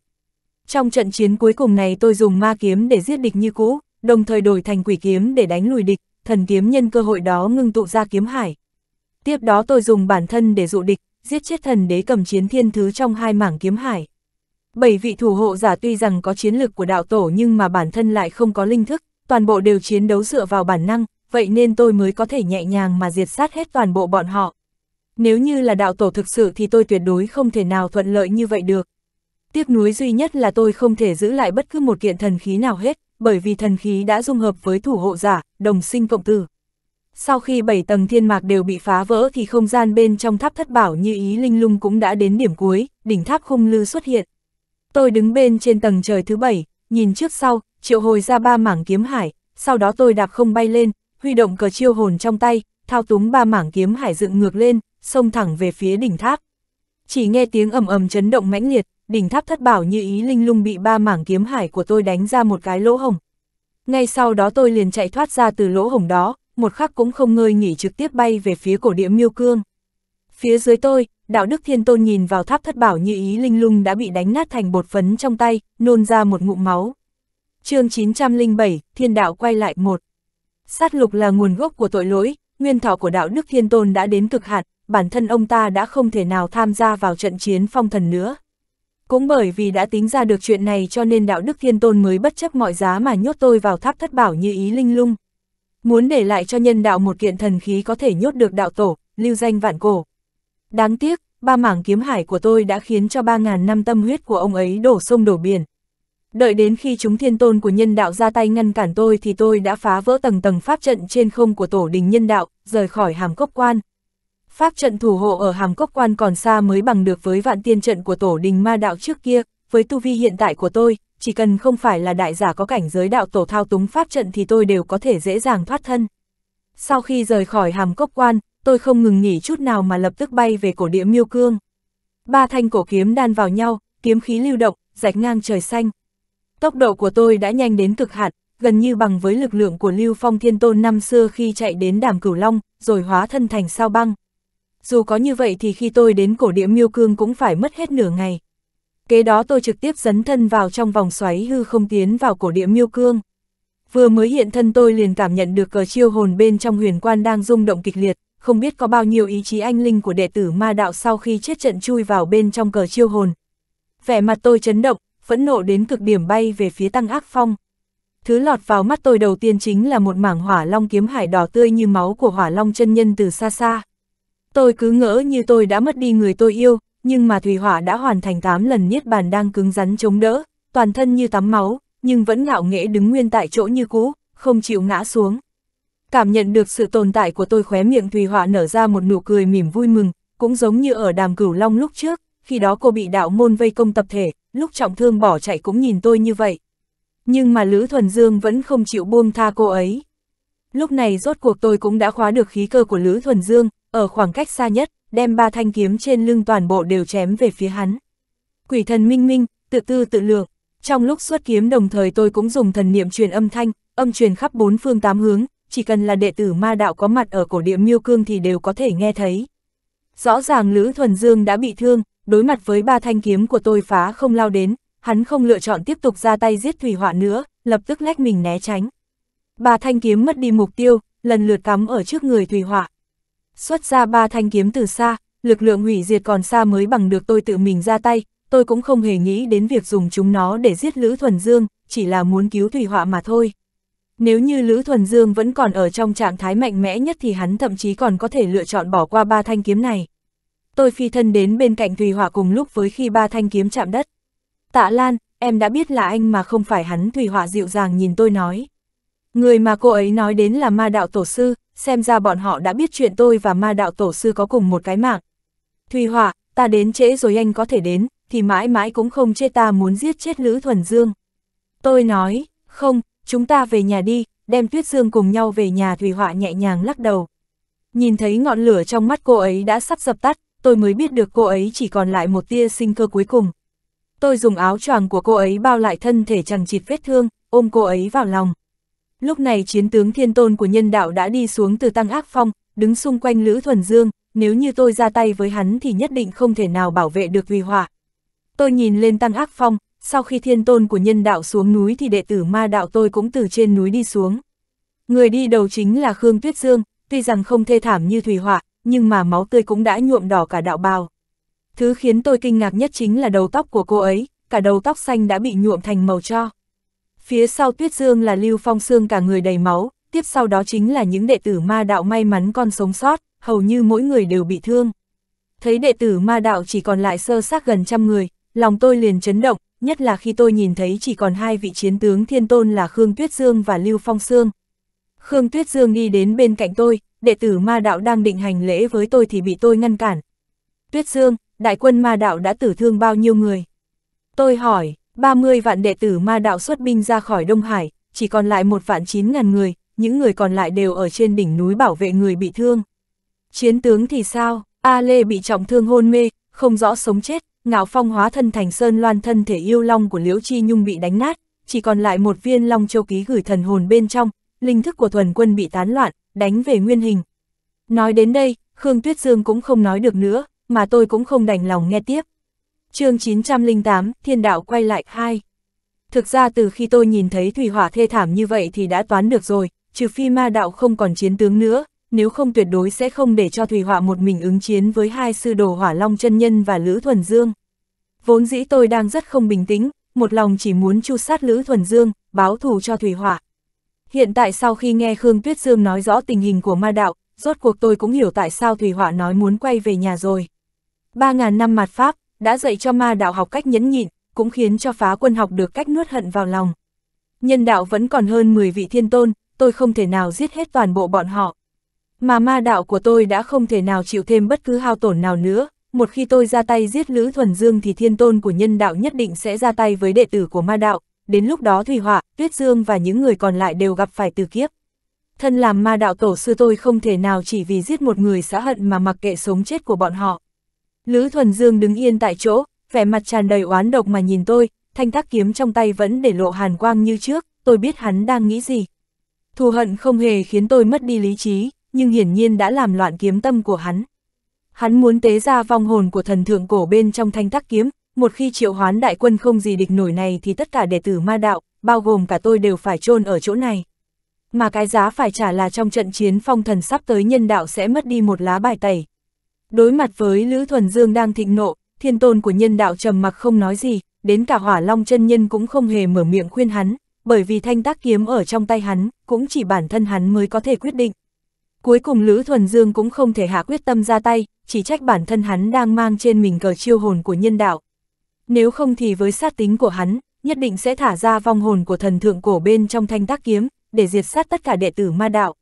Sau khi nhân đạo rời đi tôi ôm Thủy Hỏa đi lên tăng ác phong. Nhìn thi thể của đệ tử ma đạo nằm đầy đất, trong lòng tôi tràn đầy vô cùng vô tận bi thương và phẫn nộ. Trời cao không hướng về ma đạo tôi, mỗi một phần cơ duyên đều bắt chúng tôi liều sống liều chết, mà tất cả những kết quả đạt được bất quá cũng chỉ để có thể cạnh tranh công bằng với hai đạo khác trong tương lai. Vẫn là câu nói đó, thiên đường bên trái, ma đạo hướng phải mà đi. Một ngày sau, sau khi phong chủ nhận được tin tức thì liền tự mình đến đây, dùng phù tô chi phong trị thương cho đệ tử ma đạo. Sau khi A Lê tỉnh lại thì Ngạo Phong cũng được cô ấy và phong chủ liên thủ trị liệu, miễn cưỡng quay lại thành hình người, nhưng lại lập tức lâm vào ngủ say. Cậu ấy bị thương rất nặng, tuyệt đối không thể nào khôi phục trong một thời gian ngắn. Kiếm thuần quân xuất hiện vết dạn khắp nơi, khiến tôi vô cùng đau lòng. Trừ phi quay lại trong núi xích cận để đúc lại lần nữa. Nếu không thì cũng không thể nào hóa thành hình người được. Còn có Liễu Chi Nhung, chỉ còn lại một đám phương hồn ký gửi bên trong Long Châu bản mệnh của cô ấy. Đáng tiếc cô ấy chỉ mới hóa thành thân rồng chưa lâu, Long Châu cũng rất nhỏ, ánh sáng ảm đạm, muốn hóa thành thân thể yêu Long lần nữa không biết phải đợi đến tháng năm nào. Ba ngày sau, đệ tử ma đạo theo tôi rời khỏi cổ địa miêu cương. Có những mối thù chỉ có thể để ở trong lòng, bởi vì phẫn nộ mà không có đủ thực lực thì chỉ hại người hại mình. Ma đạo tử thương thảm trọng, đồng thời nhân đạo cũng phải trả cái giá bằng hàng trăm vạn đại quân. Tính toán kỹ càng thì người thật sự có được lợi ích chính là mộ dung nguyên duệ của tiên đạo, Tiền đạo rút lui đã trở thành kẻ thắng lớn nhất. Khi rời khỏi cổ địa miêu cương thì tạ uẩn đã tự mình dẫn người hộ tống ma đạo trên cả đoạn đường quay về Đông Hải. Mộ tướng quân đang đi bên cạnh tạ uẩn, ngày đó sau khi tôi rời khỏi thì tạ uẩn đã tìm thấy cô ấy, giữ cô ấy lại bên cạnh. Lịch luyện ở cổ địa miêu cương đối với mộ vân phàm có chiến lược yếu ớt mà nói là một màn khiêu chiến tàn khốc, tôi cảm thấy may mắn là tạ uẩn không để cô ấy hội họp với đại quân ma đạo, hiện tại tạ uẩn là thủ hộ giả của nhân loại, nhưng thân phận chân chính của cô ấy vẫn là đệ tử ma đạo tôi, để mộ vân phàm ở lại bên cạnh thuận tiện để cho cô ấy và ma đạo âm thầm liên hệ. Quay về đến Đông Hải, lại là một hồi trầm mặc đau thương. Sau đó đại quân ma đạo không còn động tính gì nữa, ở lại bên trong quy khư âm thầm hồi phục nguyên khí. Tam giới đồng thời yên tĩnh im ắng, đồng thời âm thầm chuẩn bị chiến đấu và chờ đợi tin tức thiên đạo quay về. Ngày mà thiên đạo quay về chính là lúc trận chiến phong thần bắt đầu. Đối với ma đạo mà nói đương nhiên là càng trễ càng tốt, bởi vì thứ ma đạo thiếu thốn nhất chính là thời gian. Đáng tiếc là thứ nên đến cũng sẽ đến. Ngày này tôi đang ở trên đỉnh núi Bất Chu cảm ngộ phương pháp dung hợp ba kiếm đạo thái cổ, đột nhiên nghe được cờ chiêu hồn bên trong huyền quan vang lên. Trận chiến phong thần của tam giới, bắt đầu. Theo sau tiếng vang to lớn này thì kết giới bảo vệ bên ngoài quy khư cũng lặng lẽ bị hóa giải. Ngay khi con dân của hồng hoang quy khư đang hỗn loạn thì tôi cảm giác được từ sâu bên trong vũ trụ hư không hình như có một đôi mắt ẩn chứa sự hắc ám của căm hận ngừng ở trên người tôi. Thiên đạo quay lại rồi. chương 909, tận thế dịu dàng 1. Chuyện đầu tiên thiên đạo làm sao khi quay trở lại chính là phá vỡ kết giới bảo vệ của quy khư, nước biển của quy khư liên thông với vô tận chi hải, biến thành một hòn đảo lớn hơn vô số lần so với đảo Kim Ngao trước kia. Quy khư có núi, núi Bất Trung Uy Nga cao lớn, núi không tang xanh biếc màu phỉ thúy, núi côn ngô một màu tuyết trắng, núi lưu ba thần bí âm trầm. Quy khư cũng có nước, tứ hải là nước, còn có vô số dòng chảy vắt ngang đông tây của lục địa, dưỡng dục con dân quy khư. Cao nguyên tuyết dưới chân núi côn ngô có gió lạnh thấu xương, mưa xuân dịu dàng ấp ủ cánh đồng lúa mạch ở vùng đồi núi phía nam. Nắng sớm đẹp đẽ tĩnh mịch phủ lên cánh rừng ở biển cát của núi Bắc Minh. Tiếng trống hùng hồn vang lộng từ tầng mây trên núi Bất Chu. Lũ chim bay lượn hót vang, lưu giữ lại tất cả những gì đẹp đẽ nhất của nhân gian ở Quy Khư. Quy Khư không chỉ sông núi tươi đẹp, còn có vô số dị thú chân quý. Nơi này có thú chiều không gì cản được, có ưng thú bay lượn đến tận chân trời, có cá voi vây xanh dài đến trăm trượng. Đáng tiếc tất cả những thứ này sau khi thiên đạo quay lại thì đều hóa thành hư ảo. Khi kết giới biến mất thì vầng trăng sáng do A Lê diễn hóa ra cũng biến mất theo, ý chí thế giới của côn đã biến mất từ lâu, ý chí của thiên đạo giáng xuống quy khư. Con dân hồng hoang trước kia đều khát vọng được quay về, nhưng lại không hề nghĩ đến họ sẽ dùng một phương thức như thế này để quay về thế giới chủ. Chờ đợi họ không phải là bầu trời xanh trong không mây, không phải bầu trời trăng sao đan sen đẹp như mơ mà là sự sát phạt đến từ tam giới và sự nguyền rủa từ thiên đạo. Ngay từ khoảnh khắc khi thiên đạo tái xuất thì quy khư đã trở thành mảnh đất bị nguyền rủa. Sóng biển cuồng bạo đánh vào lục địa của quy khư, biển gầm gió bão luân phiên thị uy, mưa rào tầm tã liên tiếp 7 ngày 7 đêm. Thành thị của nhân tộc bên trong quy khư bị hồng thủy đánh vào, vô số nương ruộng biến thành một mảnh đại dương minh mông, oán linh bên trong Bắc Minh Hải bị nước biển làm loãng đi, một vài hải thú tử linh chưa kịp giáo hóa trực tiếp bị thiên địa cương khí giết chết, trận chiến phong thần chưa bắt đầu thì ma đạo đã mất đi căn cứ đại quân vong hồn ở Bắc Minh Hải này. Thiên đạo bất nhân xem vạn vật như xúc vật, hạo kiếp hồng thủy vẫn chưa rút đi thì bệnh ôn dịch đã nổi lên. Cho dù ma đạo tôi có dùng hết linh dược cứu chữa cho chúng sinh cũng không thể nào ngăn cản thiên tai ôn dịch lan rộng, trận ôn dịch này trực tiếp khiến cho nhân khẩu ở quy khư chỉ còn lại 2 phần 3. Không chỉ nhân loại gặp phải tai họa mà còn có đủ các loại dã thú phi điểu, đến cả hung thú bên trong núi Lưu Ba cũng bị chết đi trên quy mô lớn, núi Lưu Ba hiện tại đã trở thành tử địa, hung thú bị ôn dịch giết chết đã biến thành những hung linh không thể nào hóa giải được. Núi không tang chính là nguồn gốc sinh cơ của quy khư cũng đã bị ôn dịch lây nhiễm, một mảng xanh biếc vô tận, trong phòng một đêm núi không tang tươi xanh biến thành một tòa núi hoang, đến cả thần thụ không tang đã đứng vững ở quy khư không biết bao nhiêu vạn năm cũng đã rụng hết lá. Từ trước đến nay tôi đều muốn cho đệ tử ma đạo có một gia viên, mà quy khư chính là gia viên tốt nhất của đệ tử ma đạo. Tôi từng đứng ra khi mà đệ tử ma đạo đang sắp tuyệt vọng, gánh vác cờ chiêu hồn của ma đạo. Mấy chục năm sau đó tôi dẫn theo đệ tử ma đạo chinh chiến xa trường, tìm đường sống từ chỗ chết. Nhưng mà ngay khi tôi cho rằng tôi đã có thể để cho đệ tử ma đạo sống một cuộc sống không nhuốm máu tươi nữa thì thiên đạo lại đứng ra ngăn cản hết tất cả, hủy diệt gia viên của chúng tôi, khiến cho đệ tử ma đạo lại phải trải qua một cuộc sống lang thang phiêu bạt, khổ sở lần nữa. Tôi cho rằng tôi đã có thể thoát khỏi bàn cờ, nhưng lại chỉ có thể trơ mắt đúng nhìn ma đạo bị trói lên đài hành hình, tham gia vào một cuộc chiến không nhìn thấy hy vọng. Cảnh tượng tận thế ở quy khư đã làm cho căn cơ mà ma đạo vất vả lắm mới tích lũy được bị trọng thương, đến cả khí số của ma đạo bên trong cờ chiêu hồn cũng bắt đầu suy kiệt. Mà đây vẫn chưa phải là kết thúc, sau khi kết giới của quy khư biến mất, tầm mắt của cung hoa hoàng và âm ti đều hướng về đây, trong tương lai không xa ma đạo sẽ phải đối mặt với sự sát phạt đến từ đại quân của bọn họ. Thắng là quy khư vẫn còn đó, bại bởi quy khư cũng sẽ bị nhấn chìm theo ma đạo. Đứng ở trên đỉnh núi Bất Chu nhìn xuống những con dân quy khư từ tứ phương tám hướng tụ tập đến, vẫn còn đang ở trong trạng thái sợ hãi đến cực hạn, lòng tôi đau đớn đến tột cùng và cũng tràn đầy áy náy. Sau khi thiên tai xuất hiện, Khương Tuyết Dương vẫn luôn ở quy khư chủ trì đại cục, hiện tại đình viện bắt đầu quần tinh do Bắc Minh Tú và Yến Thác tỏa chấn. Hiện tại hạo kiếp ôn dịch đã chấm dứt, Khương Tuyết Dương rút ra một chút thời gian hiếm có mà đi theo tôi nên núi ngắm nhìn. Trận chiến ở cổ địa miêu cương đã đổi cho cô ấy cả đầu tóc xám, kể từ ngày hôm đó thì cô ấy chỉ mặc áo bào màu xám, khí chất cũng ngày càng trầm luyện hơn. Trên đỉnh núi có gió, gió thổi đạo bào của cô ấy phồng lên, tóc xám bay bay, thể hiện ra một phong thái chỉ thuộc về riêng cô ấy. Cục diện rối rắm của ma đạo toàn bộ đều dựa vào cô ấy xử lý, Thùy Họa chỉ quản dẫn binh đánh trận, mà đạo tổ như tôi thì đều dùng hết toàn bộ thời gian để lĩnh ngộ ba kiếm đạo thái cổ. Thùy Họa có đau thương không thể chịu đựng được, còn Tuyết Dương thì sao? chương 910, Tận Thế Dịu Dàng 2. Người truyền pháp truyền đạo là cô ấy, người quản lý vật tư điều chỉnh ma đạo là cô ấy, người thiết kế trận pháp phòng hộ là cô ấy, thiết lập ra các loại quy tắc điều lệ thưởng phạt của ma đạo, chế định ra pháp luật quy tắc cho chúng sinh ở quy khư, chủ tính toàn cục của ma đạo vào phàm giới ở quy khư hầu như đều có bóng dáng của Khương Tuyết Dương. Chiến lực của Khương Tuyết Dương ở bên trong trận doanh ma đạo thì không tính là cao, nhưng ma đạo lại không thể thiếu một vị tướng thủ nghiệp như vậy. Tham lang, kẻ nham hiểm và rào hoạt, nhưng tôi lại không hề nhìn thấy chút nham hiểm rào hoạt màu trên người cô ấy, chỉ thấy cô ấy tận tụy vì ma đạo, đến chết mới ngừng.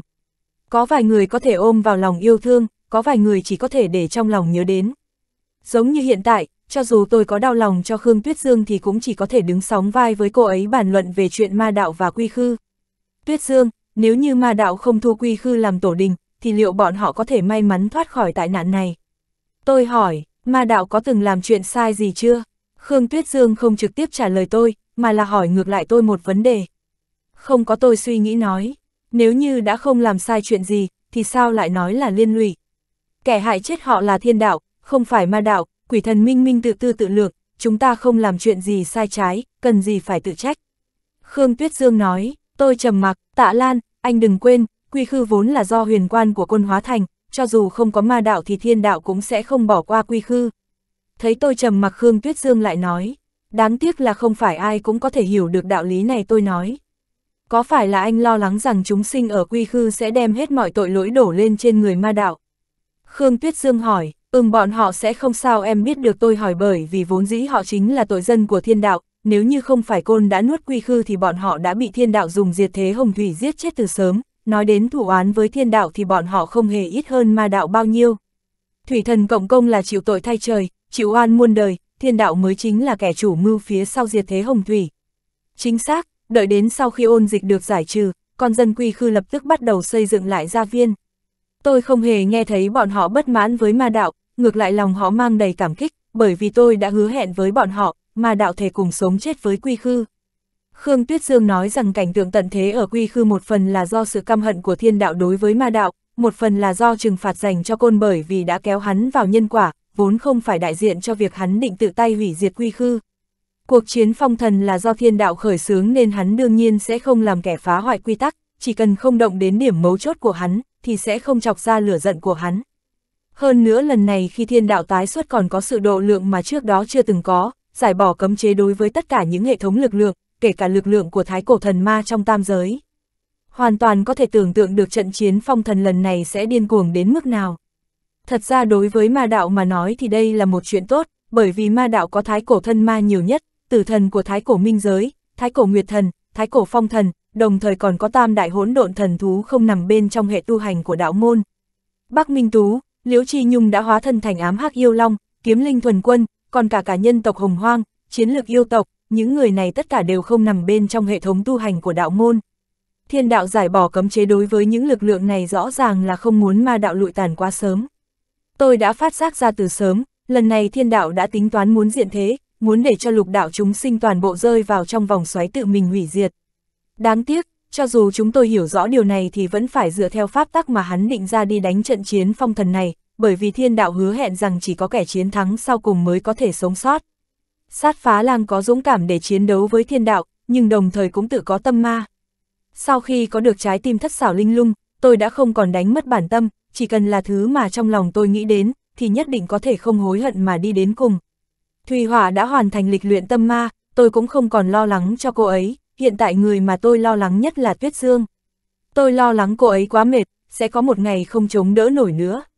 Nghĩ đến đây tôi nghiêm túc nhìn Khương Tuyết Dương hỏi, Tuyết Dương, em cảm thấy ma đạo có thể đi bao xa trong trận chiến phong thần. Em nhìn không thấy, em chỉ cảm thấy rằng chỉ cần còn có thể đi thì vĩnh viễn đừng bao giờ dừng lại. Chỉ cần còn có thể đi thì vĩnh viễn đừng bao giờ dừng lại. Nghe thấy những lời này sắc mặt tôi liền thay đổi, cảm thán tự đáy lòng nói, Tuyết Dương, nội tâm của em mạnh mẽ hơn ta và Thùy Họa nhiều lắm vậy nên hai người nhất định phải yêu thương nhau sâu đậm, chiếu cố đối phương. Vậy em thì sao? Tôi hỏi, em có thể tự chăm sóc tốt bản thân, nhìn hai người thương yêu nhau, chính là tâm nguyện lớn nhất của em. chương 911, trước lúc sông bão 1. Nỗi đau quy khư khó mà lành được, nỗi ám ảnh về cái chết vẫn còn in hằn trong lòng của chúng sinh. Liễu Chi Nhung hấp thụ tất oán niệm và sát khí ô uế tạo ra sau khi chúng sinh chết, lần nữa ngưng tụ lại cơ thể ám hắc chi long, cơ thể rồng hoàn toàn mới của cô ấy rất giống với oán khí chi long ở chiến trường vạn tộc cổ, lực chiến cũng nhảy vọt lên cảnh giới đạo tổ. Kiếp nạn mà thiên đạo định ra cho quy khư trở thành cơ duyên để Liễu Chi Nhung được thăng tiến. Tiếc là thân thể rồng mới đã không còn yêu tính cùng thần tính của loài rồng, Liễu Chi Nhung bây giờ đã trở thành một sinh vật hắc ám thực sự. Nói cách khác thì ở cổ địa miêu cương, Liễu Chi Nhung đã chết thật rồi. Liễu Chi Nhung của hiện tại không là người sống cũng không là kẻ chết, không thể quay về bên tộc tương liếu cũng chẳng thể gia nhập đại quân vong hồn của ma đạo. Sự tồn tại của sự oán niệm chết chóc đã khiến cô trở thành một dị loại thực sự. Bản thân hắc ám cũng là một loại sức mạnh hỗn độn nguyên sơ, sinh vật hắc ám lý trí hơn quỷ, điên cuồng hơn ma, chúng hấp thụ oán niệm chết chóc hóa thành sức mạnh, nuốt chửng linh hồn để gieo rắc bóng tối.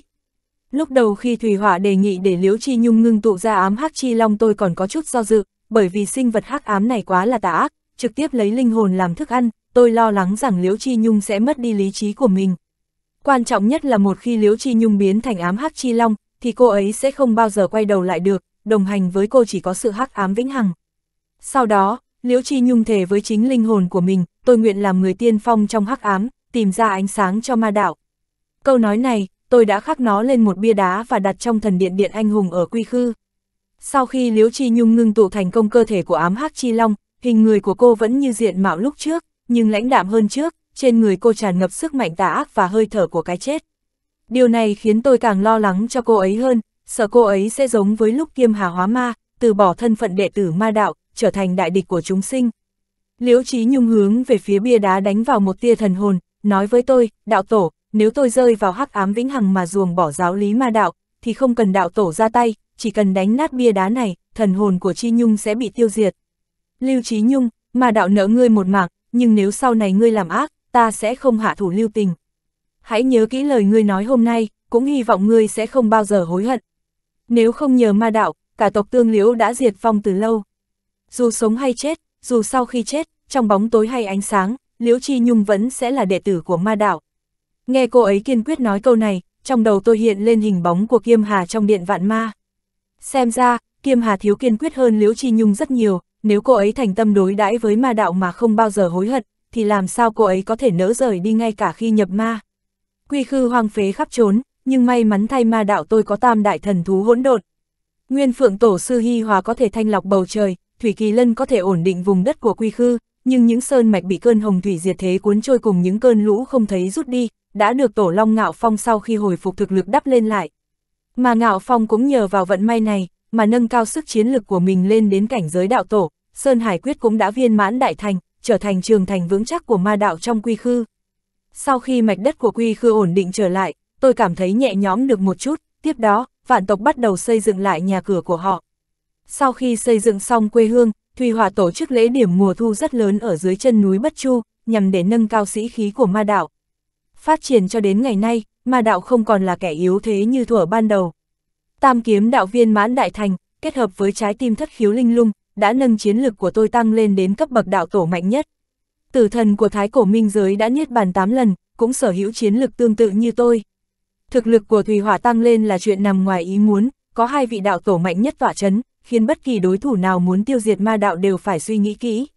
Ngoài ra, ma đạo tôi còn có 5 người chiến lực đạo tổ, lần lượt là Tổ Long Ngạo Phong, Nguyên Phượng Tổ Sư Hy Hòa, Thủy Kỳ Lân Yến Thác, Ám Ảnh Du Hiệp Bắc Minh Tú, Ám Hắc Chi Long Liễu Chi Nhung. Điểm yếu của ma đạo nằm ở nền tảng của và ở sự đối quyết với các đại quân. Hiện tại, nhân tộc của ma đạo, phong hồn, yêu tộc, tất cả cộng lại không đến 500 vạn người, chiến lược tổng thể kém xa nhân đạo cùng tiên đạo, càng không thể so sánh ngang với âm ti. Nhân, tiên hai đạo có vô số pháp bảo, bùa chú, pháp trận cỡ lớn, mà ma đạo tôi ngoại trừ dũng cảm không sợ chết ra, thì tổng hợp chiến lực của đệ tử ma đạo của tôi vẫn kém xa đại quân của nhân, tiên hai đạo. Trong các trận chiến quy mô nhỏ, chẳng hạn như cuộc tranh đoạt cơ duyên ở cổ địa, thì ma đạo có lợi thế mạnh mẽ. Nhưng nếu là đối quyết đại quân và cạnh tranh chiến lược tổng thể, thì ma đạo sẽ trông yếu thế hơn rất nhiều. Cái gọi là kiến nhiều cắn chết voi, đạo tổ ma đạo không thể chống lại sự liên thủ của thiên tôn, cũng không thể chịu được sức hủy diệt của pháp trận cỡ lớn. chương 912, trước lúc sông bão 2. Thế nên, ở giai đoạn đầu của trận chiến phong thần, ma đạo nhất định chỉ có thể phòng thủ, không thể chủ động khai chiến. Kẻ địch của ma đạo không chỉ có nhân, tiên hai đạo, mà còn có âm ti cùng hoa hoàng cung. May mắn thay, trong trận chiến phong thần này, nhân đạo và tiên đạo định sẵn sẽ không thể cùng tồn tại, điều này cũng cắt đứt khả năng liên thủ của bọn họ. Nhân đạo và tiên đạo áp chế lẫn nhau, vì vậy kẻ duy nhất có khả năng tấn công ma đạo đầu tiên chính là âm ti và hoa hoàng cung. Quy khư ở Đông Hải, đối với âm ti ở sâu trong nội địa phía bên dưới nhân gian mà nói thì chính là tác chiến tầm xa, nếu âm ti muốn công đánh quy khư thì phải chuẩn bị đầy đủ. Nếu không, tôi e rằng ngay cả quy khư còn chưa kịp thấy, thì đã bị ma đạo tiêu diệt trên Đông Hải mất rồi. Về phần hoa hoàng cung thần bí kia, trừ khi thiên đạo ban cho nữ hoa một cơ duyên, nếu không thì bà ta căn bản không thể chiêu binh. Cuộc điểm binh mùa thu này đã khiến tinh thần xa sút của ma đạo hồi phục lại không ít. Ra là, trong vô thanh vô thức thì ma đã đã trở nên vô cùng mạnh mẽ. Tôi tin rằng dưới sự bảo vệ của các đệ tử ma đạo vạn thế thiên hồng, bất luận kẻ nào xâm chiếm quy khư đều phải trả cái giá đắt. Thuần quân bị đánh về nguyên hình ở cổ địa miêu cương vẫn chưa quay trở lại, vì vậy tôi quyết định tự mình đến núi xích cận để xem thế nào. Thùy Họa lo lắng tôi một mình đi đến nhân gian nên đưa ra đề nghị đi cùng tôi. Nhân đạo là người hiểu rõ nhất về lực chiến của ma đạo, tôi phá tháp thất bảo như ý linh lung ra ngoài, hiển nhiên đã để lộ lực chiến đạo tổ mạnh nhất nhất, thêm việc Thùy Họa lại ở dưới mi mắt của nhân đạo hoàn thành lần niết bàn thứ 8. Tuy nhiên, cơ duyên đạo tổ của Ngạo Phong và Liễu Chi Nhung không phải chuyện mà nhân đạo có thể biết đến, ngay cả khi nhân đạo biết rằng tôi và Thùy Hỏa có lực chiến đạo tổ mạnh nhất, cũng sẽ không để lộ cho kẻ khác biết được. Vì vậy, tôi cùng Thùy Hỏa quyết định sẽ rời quy khư một thời gian mà không giấu tung tích của mình, để kiểm tra thái độ của các bên. Xem xem ai sẽ là người đầu tiên tấn công ma đạo, ai sẽ có ý định bày sát cục cho chúng tôi ở nhân gian. Bao năm Thùy Họa ngủ say, tôi đã quen với việc cô ấy tình ý miên miên, thấy cô ấy đột nhiên khôi phục lại thân phận tử thần, ít nhiều gì cũng không quen, phần nhiều vẫn là cảm thấy áy náy. Tôi đương nhiên biết, thiếu nữ nhà họ Lâm 400 năm trước mới là dáng vẻ hạnh phúc của cô ấy, tướng phá quân của ma đạo sẽ chỉ mang đến cho cô sự đau đớn. Muốn gả thì phải gả cho hạnh phúc, từ góc độ này, rõ ràng Thùy Họa đã gả nhầm người. Núi xích cận có trọng binh của nhân tộc canh gác nghiêm ngặt, tôi không lo lắng thuần quân gặp chuyện, nên tôi và Thùy Họa cũng không vội lên đường. Mỗi người hóa thành một người qua đường bình thường, bước đi chậm rãi trên nhân gian. Sau khi thiên đạo trở lại, sức sống của nhân tộc ngày càng tiêu điều. Trên thực tế, trong những năm qua, tỷ lệ sinh của nhân tộc đã giảm đi đáng kể. Trong cơn khủng hoảng của ngày tận thế, mọi người đều gặp nguy hiểm, mọi tầng lớp xã hội gần như bế tắc. Sau khi từ phúc chết, gánh nặng của nhân đạo đã đè nặng lên một mình tạo ẩn, tôi tin rằng áp lực của cô ấy cũng không nhẹ nhàng hơn tôi là bao. Lần này vào nhân gian tôi không đến gặp cô ấy, nhân tộc cũng không cần tham gia cuộc chiến phong thần, cho nên không muốn ma đạo làm ảnh hưởng đến lựa chọn của tạo ẩn, bởi vì ma đạo cũng không thể hứa hẹn gì với nhân tộc. Trên đường đi, tôi đã với Thủy Hỏa về tất cả những chuyện của mình. Trong đó có nhân quả mất đi tim ma, còn có sự ra đi của Uy Nhuy, thái độ của nữ đế. Suốt đời còn lại, tôi chỉ có mỗi Thủy Hỏa, giống như lời thề ban đầu, chấp tử chi thủ, giữ tử giai lão. Kiêm Hà giống như một đám mây trôi đi thất thường, Uy Nhuy lại giống như một giấc mơ. Cuối cùng, người duy nhất ở bên cạnh và nắm tay tôi chỉ có mỗi cô ấy. Tạ Lan, anh nói Kiêm Hà sẽ còn quay lại chứ? Thùy Họa hỏi tôi, em muốn cô ấy quay lại à? Ừ, luôn cảm thấy mình nợ cô ấy rất nhiều, lúc đó em không nên đối xử bá đạo với cô ấy như vậy. Đây là lựa chọn của chính cô ấy. Khoảnh khắc anh mất đi tim ma, anh ấn định sẽ mất cô ấy mãi mãi rồi. Tôi buồn bã đáp, không, em luôn cảm thấy cô ấy sẽ lại về nhân gian. Thùy Họa lắc đầu nói, tại sao, trực giác của phụ nữ, em tin rằng Kiêm Hà chắc chắn không vô tình như anh nhìn nhận, có khi ly biệt chỉ để đoàn tụ. Thái cổ ma giới bị thiên đạo đại ải, Kiêm Hà có thể ngưng tụ hết thảy tín ngưỡng của yêu ma để mở ra cổng dịch chuyển của thái cổ ma giới, nhưng nếu muốn trở về nhân gian, đó không phải là chuyện cô ấy có thể làm được. Ban đầu tôi thương tâm đến thế vì tôi biết rằng một khi Kiêm Hà đã rời đi thì sẽ không thể quay lại được nữa. Trừ khi cô ấy có thể phá bỏ cấm chế của thiên đạo, mang theo toàn bộ thái cổ ma giới quay về chương 913, kế hoạch vây sát 1. Núi Xích Cần nằm ở phía đông nam của Ninh Ba, nơi này còn có một ngọn núi nổi tiếng trong lịch sử, gọi là núi Hội Kê. Vương Hy chi Hội Kê nội sử, lúc đó đã cùng 41 vị bằng hữu là Tạ An, Tôn Sước. Uống rượu làm thơ ngay tại Lan Đình Nhã tập của Hội Kê Sơn Âm. Vương Hy Chi đã biên soạn các bài thơ này thành một tuyển tập, sau lại viết lời đề tựa cho mấy bài thơ đó, ghi lại cảnh tượng lưu thương khúc thủy, bằng cách ấy vừa mô tả lại vừa khơi gợi nỗi cảm khái trong nội tâm, lời đề tựa này sau này được gọi là Lan Đình Tự. giải thích câu lưu thương khúc thủy nghĩa là thả cho chén rượu trôi trên dòng nước để uống rượu. Chén dừng trước mặt người nào thì người đó trong một thời gian nhất định phải hoàn thành bài thơ, nếu không sẽ bị phạt rượu. Hết giải thích, ngày này tôi và Thùy Hòa đã tới núi Hội Kê, đột nhiên cao hứng đi thăm khắp các di tích cổ xưa. Giờ đây, dưới cái bóng ám ảnh của ngày tận thế, nhã hứng của loài người đã bị thay thế bởi nỗi sợ hãi không tên. Trên núi Hội Kê vậy nhưng chẳng còn nhìn thấy một màn ngựa xe như nước, áo quần như nêm năm nào. Mà Lan Đình bởi vì không người quản lý, cỏ mọc lan tràn, một mảnh ảm đạm. Sao lại nổi hứng viếng thăm di tích như vậy? Thùy Họa hỏi, anh muốn mượn hành thư của Thư Thánh Vương Hy Chi để nâng cao tu vi kiếm đạo. a hậu nhân nhận xét chữ của Thư Thánh nhẹ nhàng như mây khói, mạnh mẽ như rồng cuốn, vô hình chung lại phù hợp với hành kiếm. Làm sao để hành kiếm? Thùy Họa lại hỏi, trong kiếm đạo, có hai cách diễn giải về kiếm, một loại gọi là kiếm chạm, còn một loại là hành kiếm. Cái gọi là kiếm chạm, thế đại lực sâu, di chuyển thành thạo, kiếm chiêu có uy lực, cực kỳ phù hợp phóng thích điều khiển kiếm khí. Việc điều khiển kiếm khí có thể giết địch, cùng có thể dùng để diễn hóa kiếm của các loại pháp tướng, ví dụ như kiếm khí hồng lưu, kiếm khí hoàn hoa, kiếm hải, vì vậy bất luận là kiếm đạo của đạo môn hay kiếm pháp võ đạo đều lấy kiếm chạm làm chủ. Cái võ đạo theo đuổi là kiếm chiêu của kiếm chạm, mà điều kiếm đạo của đạo môn theo đuổi là phóng thích, điều khiển kiếm khí và các cách diễn giải. Nói hết kiếm chạm, lại nói hành kiếm. Kiếm đạo ban đầu chỉ có kiếm chạm, sự ra đời của hành kiếm tới từ một khúc vũ kiếm bởi một vị nữ kiếm thần sau khi say rượu. Khi đó vị nữ kiếm thần này uống rượu, trong lúc say sưa vui vẻ đã tạo nên một màn kiếm vũ vô cùng mỹ cảm và nhịp nhàng, quả thật đã đạt được cái gọi là nước chảy mây trôi, kiếm ý liên miên vô tận. Sau đó, có người dựa vào kiếm vũ do vị thần này truyền lại dần dần diễn giải ra phương pháp hành kiếm. So với kiếm chạm, hành kiếm cơ hồ không có điểm dừng, động tác liên tiếp không ngừng, đều đặn mà lại mềm mại. Phương pháp hành kiếm đề cao sự kết hợp giữa người và kiếm, kiếm với thần cách, dùng thân để lĩnh kiếm nếu như nói kiếm chạm được dùng để giải phóng kiếm khi lưu hình, vậy thì hành kiếm chính là một bộ phận của kiếm khí lưu hình. Kiếm chạm và hành kiếm cái nào mạnh hơn? Sau khi Thùy Họa nghe xong liền hỏi, nếu như chỉ dùng một loại kiếm đạo, kiếm chạm đương nhiên là mạnh hơn. Hành kiếm tuy rằng linh động nhạy bén, thế nhưng bởi vì không thể diễn giải các loại pháp tướng, uy lực còn xa mới có thể sánh được với kiếm chạm. Với anh mà nói thì sao? Đại quân sát phạt, kiếm chạm tự nhiên vẫn mạnh nhất. Thế nhưng nếu như cùng với người như Lữ Thuần Dương quyết đấu sinh tử, chỉ có hành kiếm chi pháp mới có cơ hội chiến thắng. Có câu thuật nghiệp hữu chuyên công, Lữ Thuần Dương chuyên về đạo của thần kiếm, có thể đem ý nghĩa thâm sâu của kiếm chạm phát huy tinh tế, sâu sắc. Mà tôi bởi vì cùng lúc tu hành ba loại kiếm đạo, chuyện điều khiển kiếm khí vô luận ra sao cũng không thể bì được với ông ta. Giải thích câu thuật nghiệp hữu chuyên công nghĩa là học trò không nhất định kém hơn thầy, mà thầy không nhất định giỏi hơn học trò, hiểu đạo lý có trước có sau, kỹ năng nghiệp vụ nghiên cứu am hiểu chuyên sâu, cuối cùng cũng chỉ vậy mà thôi. Hết giải thích, vì vậy, tôi nếu muốn thắng được ông ấy, chỉ có thể tìm lối tắt khác. Hành kiếm có thể giúp cho thái cổ tam kiếm của tôi kết nối với nhau không chút kẽ hở, liền mạch lưu loát liên tiếp không ngừng. Diễn sinh thần thông của ma kiếm là đẩy lùi công kích, của thần kiếm là kiếm khí bùng nổ, của quỷ kiếm là sức mạnh xuyên thấu. Lữ Thuần Dương chỉ cần bị trúng một kiếm bất kỳ của tôi, ông ta sẽ không thể nào trốn thoát.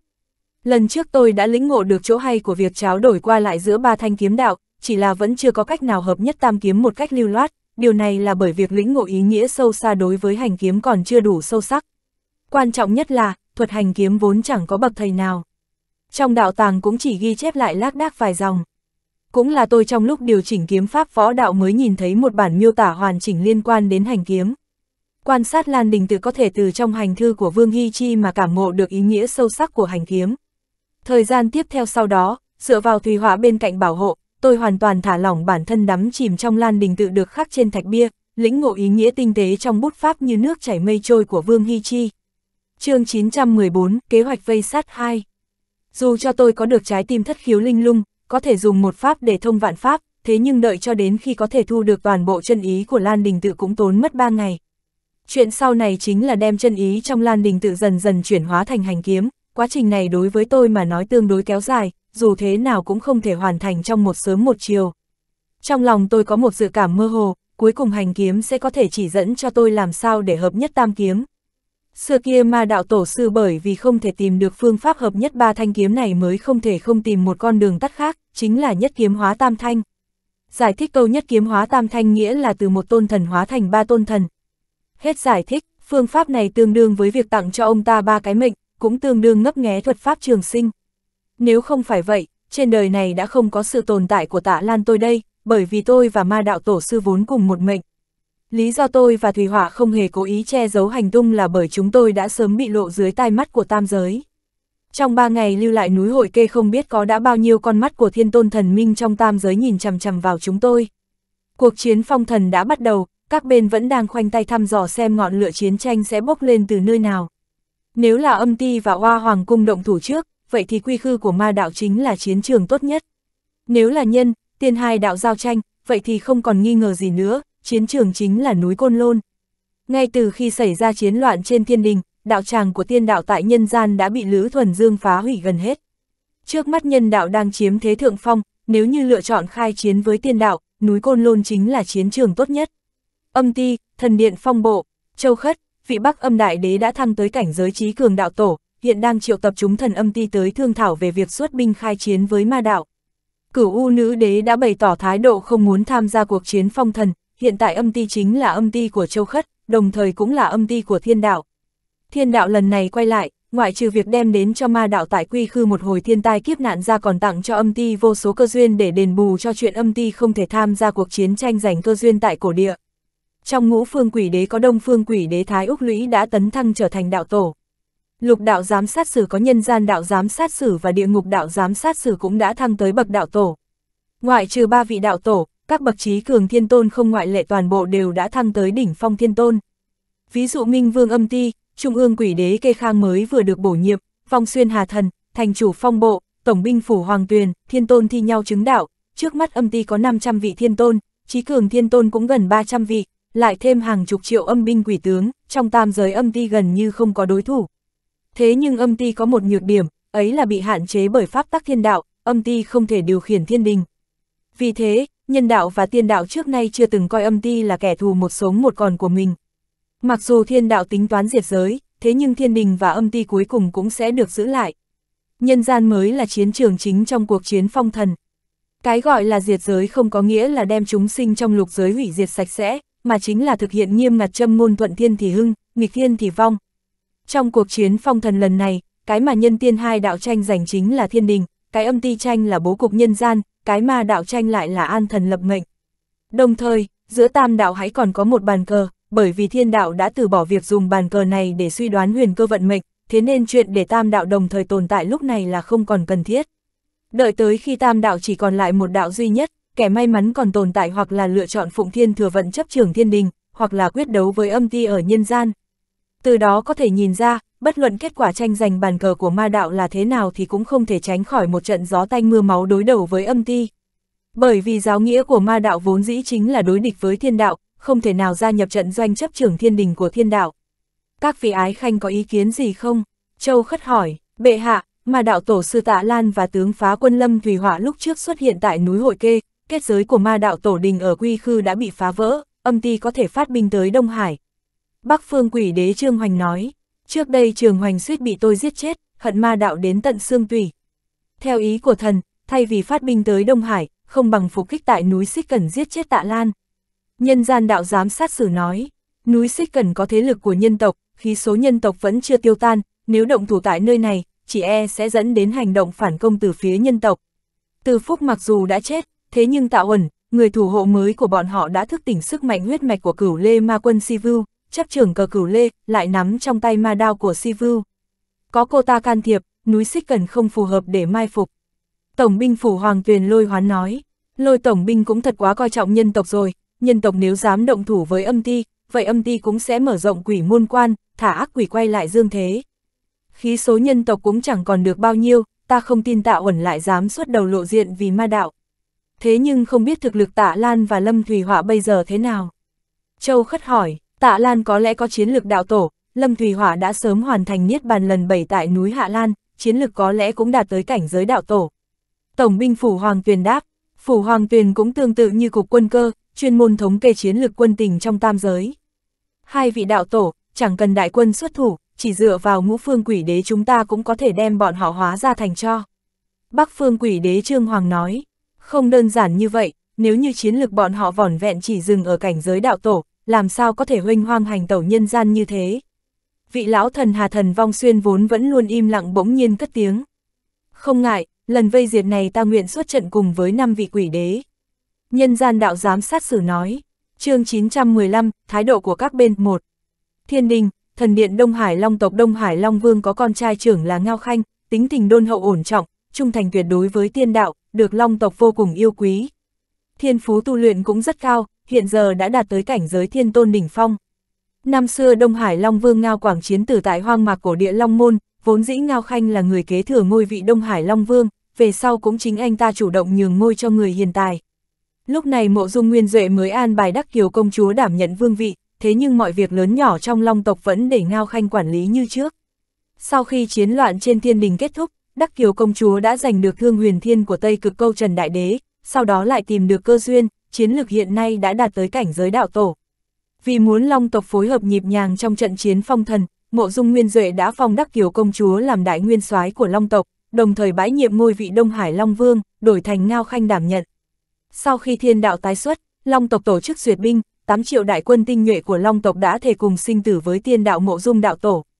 Khi số tiên đạo một lần nữa lại tăng vọt, chiến lực của long tộc cơ hồ có thể sánh với bộ binh của thiên đình, mà địa vị của mộ dung nguyên duệ hiện giờ cũng không thể lung lay, chư thần đều khuất phục.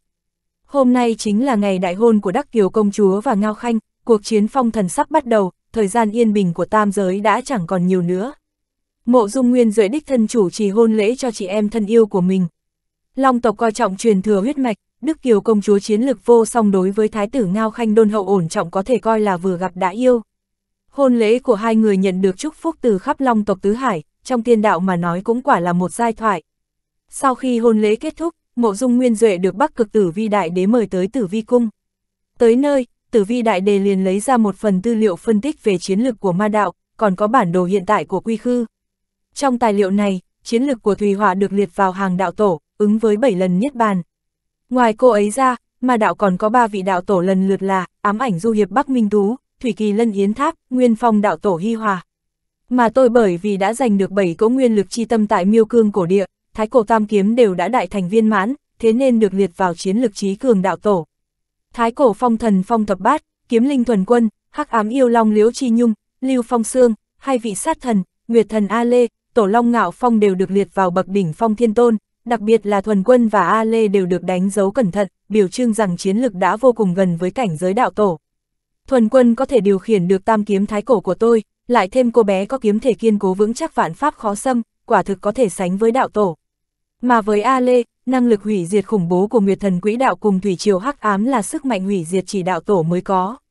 Ngoài trừ các tướng lĩnh cấp cao, Tử Vi Đại Đế còn thống kê số lượng đại quân ma đạo tại Quy Khư và Đình Viện bắt đầu quần tinh, tổng cộng là 5 triệu binh. Quy khu trời giáng kiếp nạn, nhân khẩu đã giảm đi 1 phần 3. Nếu chỉ nhìn chiến lược hiện nay, nếu như đại quân âm ti tấn công Quy Khư, ma đạo khó lòng địch lại. Chưa hẳn, mộ dung nguyên duệ lắc đầu nói thiên tôn âm ti đông đúc, đại quân nhiều gấp 10 lần ma đạo, ma đạo làm sao địch nổi. Tư vi đại đế hỏi, ngài đã đánh giá thấp phá quân của ma đạo tử thần Lâm Thùy hỏa Tử thần chẳng qua mới niết bàn 7 lần, cho dù có mạnh tới đâu cũng chỉ có chiến lược đạo tổ, cơ bản không thể nào dùng uy lực tử thần để trấn áp thiên tôn đạo tổ của âm ti. Tử vi đại đế đáp, lúc trước ta rời khỏi miêu cương cổ địa, tạ Lan hãy còn chưa thoát khỏi thất bảo như ý linh lung tháp, mà khi đó Lữ Thuần Dương rõ ràng đã nổi lên sát tâm đối với đại quân ma đạo. Kết quả cuối cùng ông ta thế nhưng lại không thể một lưới bắt sạch đệ tử ma đạo, điều này rõ ràng cho thấy có vấn đề. Là vấn đề gì? Rất có khả năng tử thần đã hoàn thành lần niết bàn thứ 8 rồi. Mộ Dung Nguyên Duệ nói, tử thần làm sao có thể trong thời gian ngắn ngủi như vậy hoàn thành niết bàn lần 8 cơ chứ? Tư vi đại đế vô cùng kinh ngạc, hỏi, ngày đó lúc gặp Thùy Hỏa tại miêu cương cổ địa, cô ấy rõ ràng đã mất đi ký ức tử thần. Hiện giờ nghĩ lại, vốn dĩ thủy hòa không hề mất đi ký ức, cô ấy vẫn luôn lĩnh hội ý nghĩa thâm sâu của sức mạnh tử thần. Quên đi quá khứ lại bị quá khứ lãng quên, mộ dung nguyên duệ và thủy Hỏa vốn là kẻ thù truyền kiếp, vì vậy sau khi cô ấy thức tỉnh thái cổ chiến thần, tự nhiên cũng có thể thấu suốt tất cả uy năng của tử thần minh giới. Ta hiểu rồi, chẳng trách phu thê tạ lan lại rời khỏi quy khư, đi đến hạ giới. Tử vi đại đế nói, bọn họ đang ở hạ giới. Mộ dung nguyên duệ hỏi, không sai, đã lưu lại nhân gian vài ngày rồi, theo lộ trình có lẽ tiếp theo sẽ tới núi Xích Cẩn, đón tuần quân kiếm linh. chương 916, thái độ của các bên, 2. Tạ Lan chẳng hề giấu giếm hành tung, phòng trừng lần này dự định dùng thân dụ địch, thăm dò phản ứng của các bên. Ai sẽ động thủ với ma đạo chứ?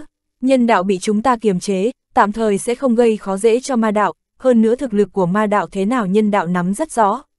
Hoa Hoàng cung còn phải xem ý của thiên đạo thế nào, nghe nói trong cung Hoa Hoàng có một tòa yêu nhiếp tinh không đại trận, nữ hoa một mực âm thầm thuần hóa yêu thú trên tinh không và thiên ma ngoại vực, trước khi quân lực hình thành, bà ta không thể tới hạ giới ra tay với tạ Lan. Nếu như vậy, kẻ duy nhất có khả năng động thủ với ma đạo bây giờ chỉ có âm ti. Mộ Dung Nguyên Duệ đáp, không sai, âm ti đối với ma đạo hận sâu như núi, nhìn thấy phu thê tạ Lan đi tới nhân gian, khẳng định sẽ phục kích vây sát. Cái này còn phải xem nhân đạo có hay không sẽ tiết lộ chiến lược thật sự của vợ chồng tạ Lan cho âm ti. Bằng không, một khi tổng binh phủ hoàng tuyền đánh giá sai lầm, bọn họ nhất định thương vong thê thảm. Ha ha, nhân đạo gian trá, làm sao có thể đem chiến lược của phu phụ tạ Lan bán cho âm ti. Cứ đợi mà xem, âm ti lần này khẳng định chân đá phải đinh rồi. Mộ dung nguyên duệ nhẹ nhàng mỉm cười, trên mặt lộ vẻ nhẹ nhõm. Coi như ma đạo có thể may mắn thắng được âm ti một lần, tương lai vẫn khó tránh khỏi bị đội quân âm ti thảo phạt. Không chỉ vậy, một khi quân lực của Hoa Hoàng cung hình thành, nữ Hoa cũng sẽ chính thức tuyên chiến với ma đạo. Tử vi đại đế nói, chuyện tương lai ai có thể nói rõ. Tóm lại, ta không hy vọng ma đạo bị loại sớm, có ma đạo kiềm chế các phe phái, có thể giúp tiên đạo chuyên tâm đối phó với nhân đạo. Mộ Dung Nguyên Duệ nói, sau khi đánh bại nhân đạo thì sao? Tử vi đại đế nghiêm túc nhìn mộ Dung Nguyên Duệ hỏi. Mộ Dung Nguyên Duệ đầu tiên là trầm mặc, sau lại thở dài một tiếng, nói, nếu như lúc đó ma đạo còn chưa bị loại, vậy tiên đạo chúng ta tới tiến bọn họ vậy. Nhân đạo, hàm cốc quan, trong suốt mấy tháng qua, kiếm tâm của Lữ Thuần Dương đã được mài rũa không chút tì vết, kiên định hơn bao giờ hết. Thất bại tại miêu cương cổ địa là nỗi nhục của nhân đạo. Thất bảo như ý linh lung tháp bị hủy lại càng nhân đôi nỗi nhục này. Thế nhưng, nhân đạo rất nhanh liền bình tĩnh lại. Không phải bọn họ không muốn tìm ma đạo báo thù, mà nhân đạo hiểu rằng tiên đạo mới là kẻ thù chủ yếu của mình. Một khi bị ma đạo kéo xuống đầm lầy chiến tranh, lợi thế của nhân đạo khi đối chiến với tiên đạo sẽ lập tức bay mất sạch. Bởi vậy, mặc cho hành tung của tôi và Thùy Hỏa đã bị hàm cốc quan nắm được, nhân đạo cũng không dự định làm ra chuyện gì. Cung bát cảnh, thần điện nghị sự của đạo Đức Thiên Tôn.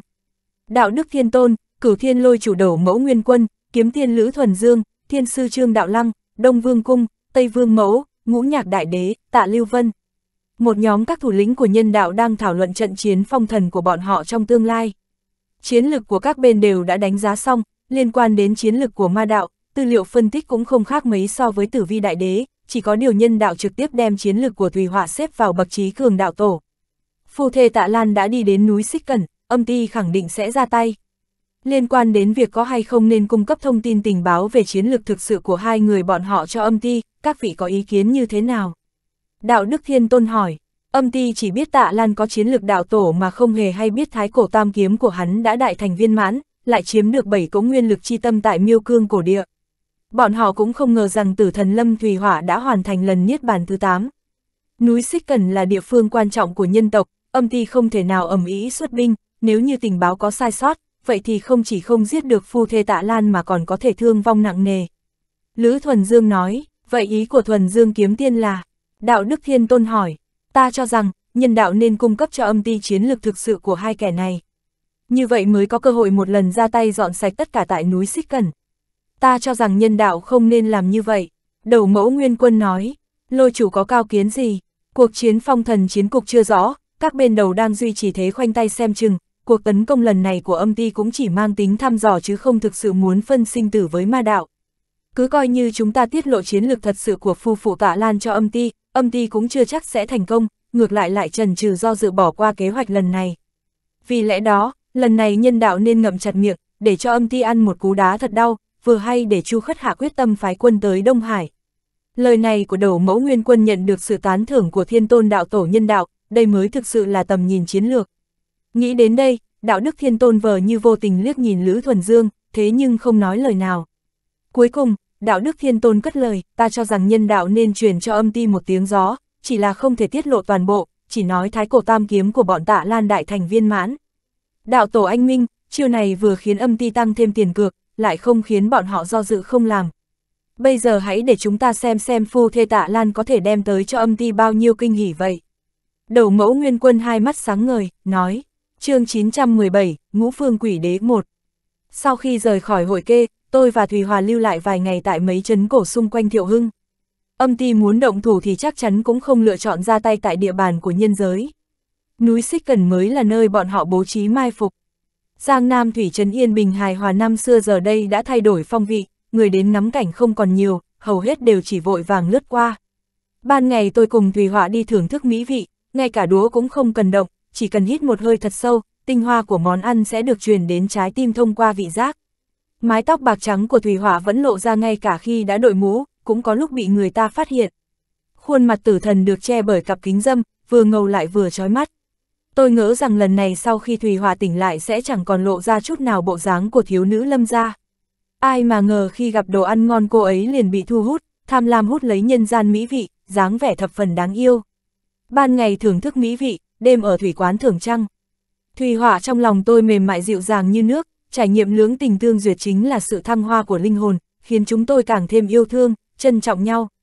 Thẳng như năm tháng an yên, cùng nhau đi đến bạc đầu, nguyện làm uyên ương không làm tiên.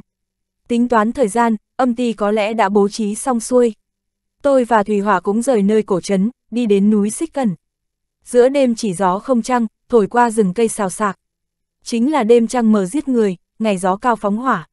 Hai chúng tôi ngự kiếm bay tới núi Xích Cần, khi cách núi chỉ chừng 30 dặm liền hạ xuống, trước mặt là khu cảnh bị của nhân tộc, không thể cưỡi vân ngự kiếm. Đồng thời, đây cũng là nơi tốt nhất để âm ti ra tay, bởi vì bọn họ không muốn làm kinh động nhân tộc. Kể từ khi tới hạ giới, tôi và Thùy Họa chưa từng che giấu hành động của mình, giống như một cặp thần tiên quyến lữ, nắm tay nhau du ngoạn nhân gian. Trong trận chiến phong thần, ma đạo chính là cái bia cho người ta công kích. Hành động chu du khắp nơi chẳng kiêng nể gì của chúng tôi chính là sự khiêu khích trắng trợn trong mắt âm ti. Thế nhưng trước mắt bọn họ vẫn chưa muốn đoạn tuyệt với nhân tộc, vì vậy khi chúng tôi hãy còn trong địa bàn nhân tộc, âm ti cũng chỉ có thể dương mắt mà nhìn. Lúc này chúng tôi đã tới chân núi Xích Cần, rõ ràng là đã rời khỏi địa bàn của nhân tộc, bọn họ đương nhiên sẽ không dễ dàng tiếp tục nhịn nhục nữa. Thùy Họa nói, từ lúc tôi đang cảm ngộ bút pháp thư thánh tại núi hội kê cô ấy đã sớm cảm nhận được địch ý của âm ti, chỉ là núi hội kê cách địa bàn của nhân tộc quá gần, không thích hợp mở ra trận chiến thiên tôn, núi xích cần mới là địa phương phù hợp nhất. Hai chúng tôi chậm rãi tiến về phía trước, gió rít từng hồi, dần dần chuyển lạnh. Cho đến khi bước vào một khu rừng bí mật, khí lạnh âm u nồng đậm bốc lên từ khắp nơi vây quanh chúng tôi. Lá cây tàn lụi, trăm cỏ khô cằn, chỉ trong nháy mắt, một mảnh rừng rậm tràn trề sức sống liền biến thành miền đất chết. Tới rồi, Thùy Họa dừng bước, khẽ nhíu mày. Thùy Họa là tử thần, đối với hơi thở của minh giới so với tôi càng mẫn cảm hơn. Quả nhiên, lời này vừa dứt, tôi liền cảm nhận được một vài đạo thần niệm vô cùng cường đại. Liền sau đó, một cỗ quỷ khí thanh thuần diễn hóa thành kính tượng của núi Đào Chi, trước tiên phong cấm phía đông của khu rừng. Kính tượng núi Đào Chi xuất hiện cho thấy đông phương quỷ đế Thái Úc Lũy đã tham gia vào màn bao vây diệt sát này. Tiếp đó, kính tượng của núi Bá Trùng phong cấm phía tây của khu rừng, núi La Phong phong lại phía bắc, phía nam cũng bị phong cấm bởi núi La Phù. Không chung còn có một tòa bão độc sừng sướng đang trôi nổi sau khi đã phong tỏa toàn bộ khu rừng bí mật, ngũ phương quỷ đế chính thức hiện thân. Vị đầu tiên tiến về phía chúng tôi chính là đông phương quỷ đế Thái Úc Lũy, trong năm vị quỷ đế, tu vi của ông ta là thâm hậu nhất, đã thăng đến bậc đạo tổ. Thái Úc Lũy không dám trực tiếp đi tới, đứng cách đó chừng 30 trượng. Sau khi ông ta hiện thân, bốn vị quỷ đế khác cũng lần lượt xuất hiện, Tây phương Triệu Văn Hòa, Bắc phương Trương Hoành, Nam phương Đỗ Tử Lôi. Ngũ phương quỷ đế không phải vô duyên vô cớ hiện thân, bọn họ sau đó đã kết thành quỷ khí xâm la ngũ phương trận. Giải thích câu quỷ khí xâm la, sâm có nghĩa là thâm, sâu, la trong thiên la địa võng, câu này để chỉ một trận pháp vô cùng thâm sâu, hung hiểm, nhiều bẫy dập. Hết giải thích, quỷ khí xâm la ngũ phương trận có thể dựa vào quỷ khí để hóa ra vô số huyễn ảnh của ác quỷ địa ngục, chảm không hết, diệt không sạch. Với tu vi hiện tại của ngũ phương quỷ đế, có thể trực tiếp triệu hoán ác quỷ có chiến lực bán bộ đỉnh phong thiên tôn. Không còn nghi ngờ gì, tòa trận pháp này có uy áp đạo tổ khiến người người phải kiêng dè. Thậm chí, dưới sự liên thủ tấn công của ngũ phương quỷ đế, ngay cả bậc trí cường đạo tổ cũng không tránh khỏi kiếp nạn sát thân. Để em tới phá trận đi, vừa hay có cơ hội làm quen với lưỡi hái tử thần. Thùy Họa nói, được, nơi này không có hồn năng, em cẩn thận một chút. Em biết rồi, dứt lời, Thùy Họa liền ra tay, còn tôi ngồi tại chỗ đả tọa. chương 918, Ngũ Phương Quỷ Đế 2 Quỷ khí xâm la ngũ phương trận mặc dù đã kết thành, sát cơ thế nhưng vẫn chưa được kích hoạt. Pháp trận gặp mạnh càng thêm mạnh, chiến lực của Thùy Họa lớn bao nhiêu sẽ phải hứng chịu bấy nhiêu công kích từ phía ác quỷ địa ngục. 3.000 năm trước, mà đạo phá quân hộ Pháp Thiên Tôn đã gây nên đại kiếp hủy diệt kéo dài 500 năm cho âm ti, hôm nay chính là lúc các người phải thanh toán món nợ này. Đông phương quỷ đế Thái Úc lũy lạnh lùng nhìn Thùy Họa, nói. Như người ước nguyện, hôm nay một mình ta sẽ phá quỷ khí xâm la ngũ phương trận này của các người. Dứt lời, Thùy Họa bắt đầu thả ra uy áp tử thần của mình. Lần này vì mê hoặc âm ti, cả tôi và Thùy Họa đều che giấu tu vi sức mạnh bản thân. Vì vậy lúc này cô ấy thả ra thần lực lần lượt từ lần niết bàn đầu tiên, tầng tầng lớp lớp nở rộ. Lần đầu tiên, lần thứ hai, thứ ba, thứ tư. Đợi tới khi thần uy tử thần đã đạt đến lần niết bàn thứ bảy, vẻ mặt của ngũ phương quỷ đế cũng dần trở nên nghiêm trọng. Trong mắt bọn họ mà nói, niết bàn lần bảy đã là cực hạn chiến lực của Thùy Họa rồi.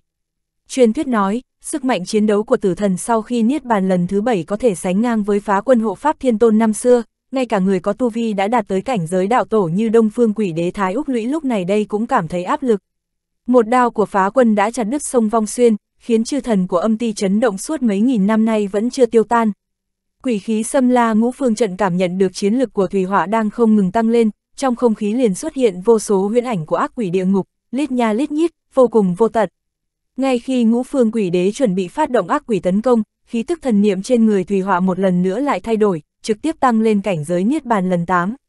Lưỡi hái tử thần xuất hiện, ngũ phương quỷ đế thất sắc chấn kinh, tử thần niết bàn 8 lần có uy áp thần niệm của bậc trí cường đạo tổ, bọn họ còn có thể miễn cưỡng chịu đựng được, thế nhưng những quỷ khí hóa thành ác quỷ địa ngục kia lại lo sợ không thôi, do dự không dám ứng chiến. Chỉ có điều ngũ phương quỷ đế rất nhanh liền bình tĩnh trở lại, điên cuồng kích thích quỷ khí, triệu hoán càng nhiều ác quỷ địa ngục, đồng thời khiến cho nỗi hận thù của bọn chúng không ngừng tăng lên. Đông phương thanh quỷ, cấp cấp như bắc âm đại đế như luật linh, sắc. Nam phương xích quỷ, cấp cấp như bắc âm đại đế như luật linh, sắc. Tây phương bạch quỷ, cấp cấp như bắc âm đại đế như luật linh, sắc. Bắc phương hắc quỷ, cấp cấp như bắc âm đại đế như luật linh, sắc. Trung ương hoàng quỷ, cấp cấp như bắc âm đại đế như luật linh, sắc. Ngũ phương quỷ đế đồng thanh niệm sắc lệnh, ác quỷ địa ngục từ khắp mọi nơi nhanh chóng tiến đánh thủy hỏa.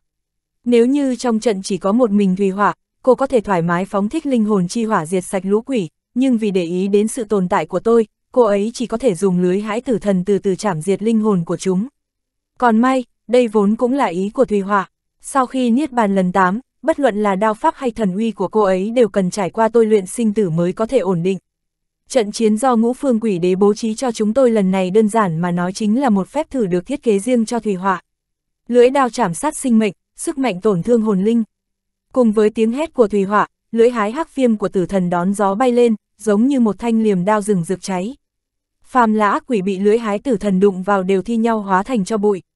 Chạm vào ắt tử, gặp phải ắt phong, ngay cả khi ngũ phương quỷ đế không ngừng điên cuồng kích phát quỷ khí, những ác ma này cũng không thể nào chống lại uy áp thần niệm của tử thần. Nếu như Thùy Hòa mới chỉ niết bàn lần 7, ác quỷ địa ngục hãy còn có thể miễn cưỡng phát huy sức mạnh chiến đấu, mà hiện giờ phải đối mặt với tử thần đã niết bàn 8 lần, chiến lực của chúng cứ vậy mà giảm đi một thành. Mất đi một thành chiến lực, vẻn vẹn chỉ còn tương đương với cảnh giới hợp đạo. Dùng cảnh giới hợp đạo để đấu với trí cường đạo tổ, đây quả thực là tự chuốc lấy diệt vong. Nếu như trận này để tôi xuất thủ, khẳng định chẳng thể nào tự do thoải mái giống như cô ấy, chắc chắn sẽ tổn hao thần niệm vô cùng. Mà Thùy Họa đánh tan công kích chí mạng của ác quỷ chỉ vẹn vẹn chưa tới một khắc, chiến lực dồi dào sôi sục như cũ, một chút tổn hao cũng không có. Sau khi ác quỷ cuối cùng bị tiêu diệt, quỷ khí của quỷ khí xâm la ngũ phương trận cũng bị tiêu hao hết sạch.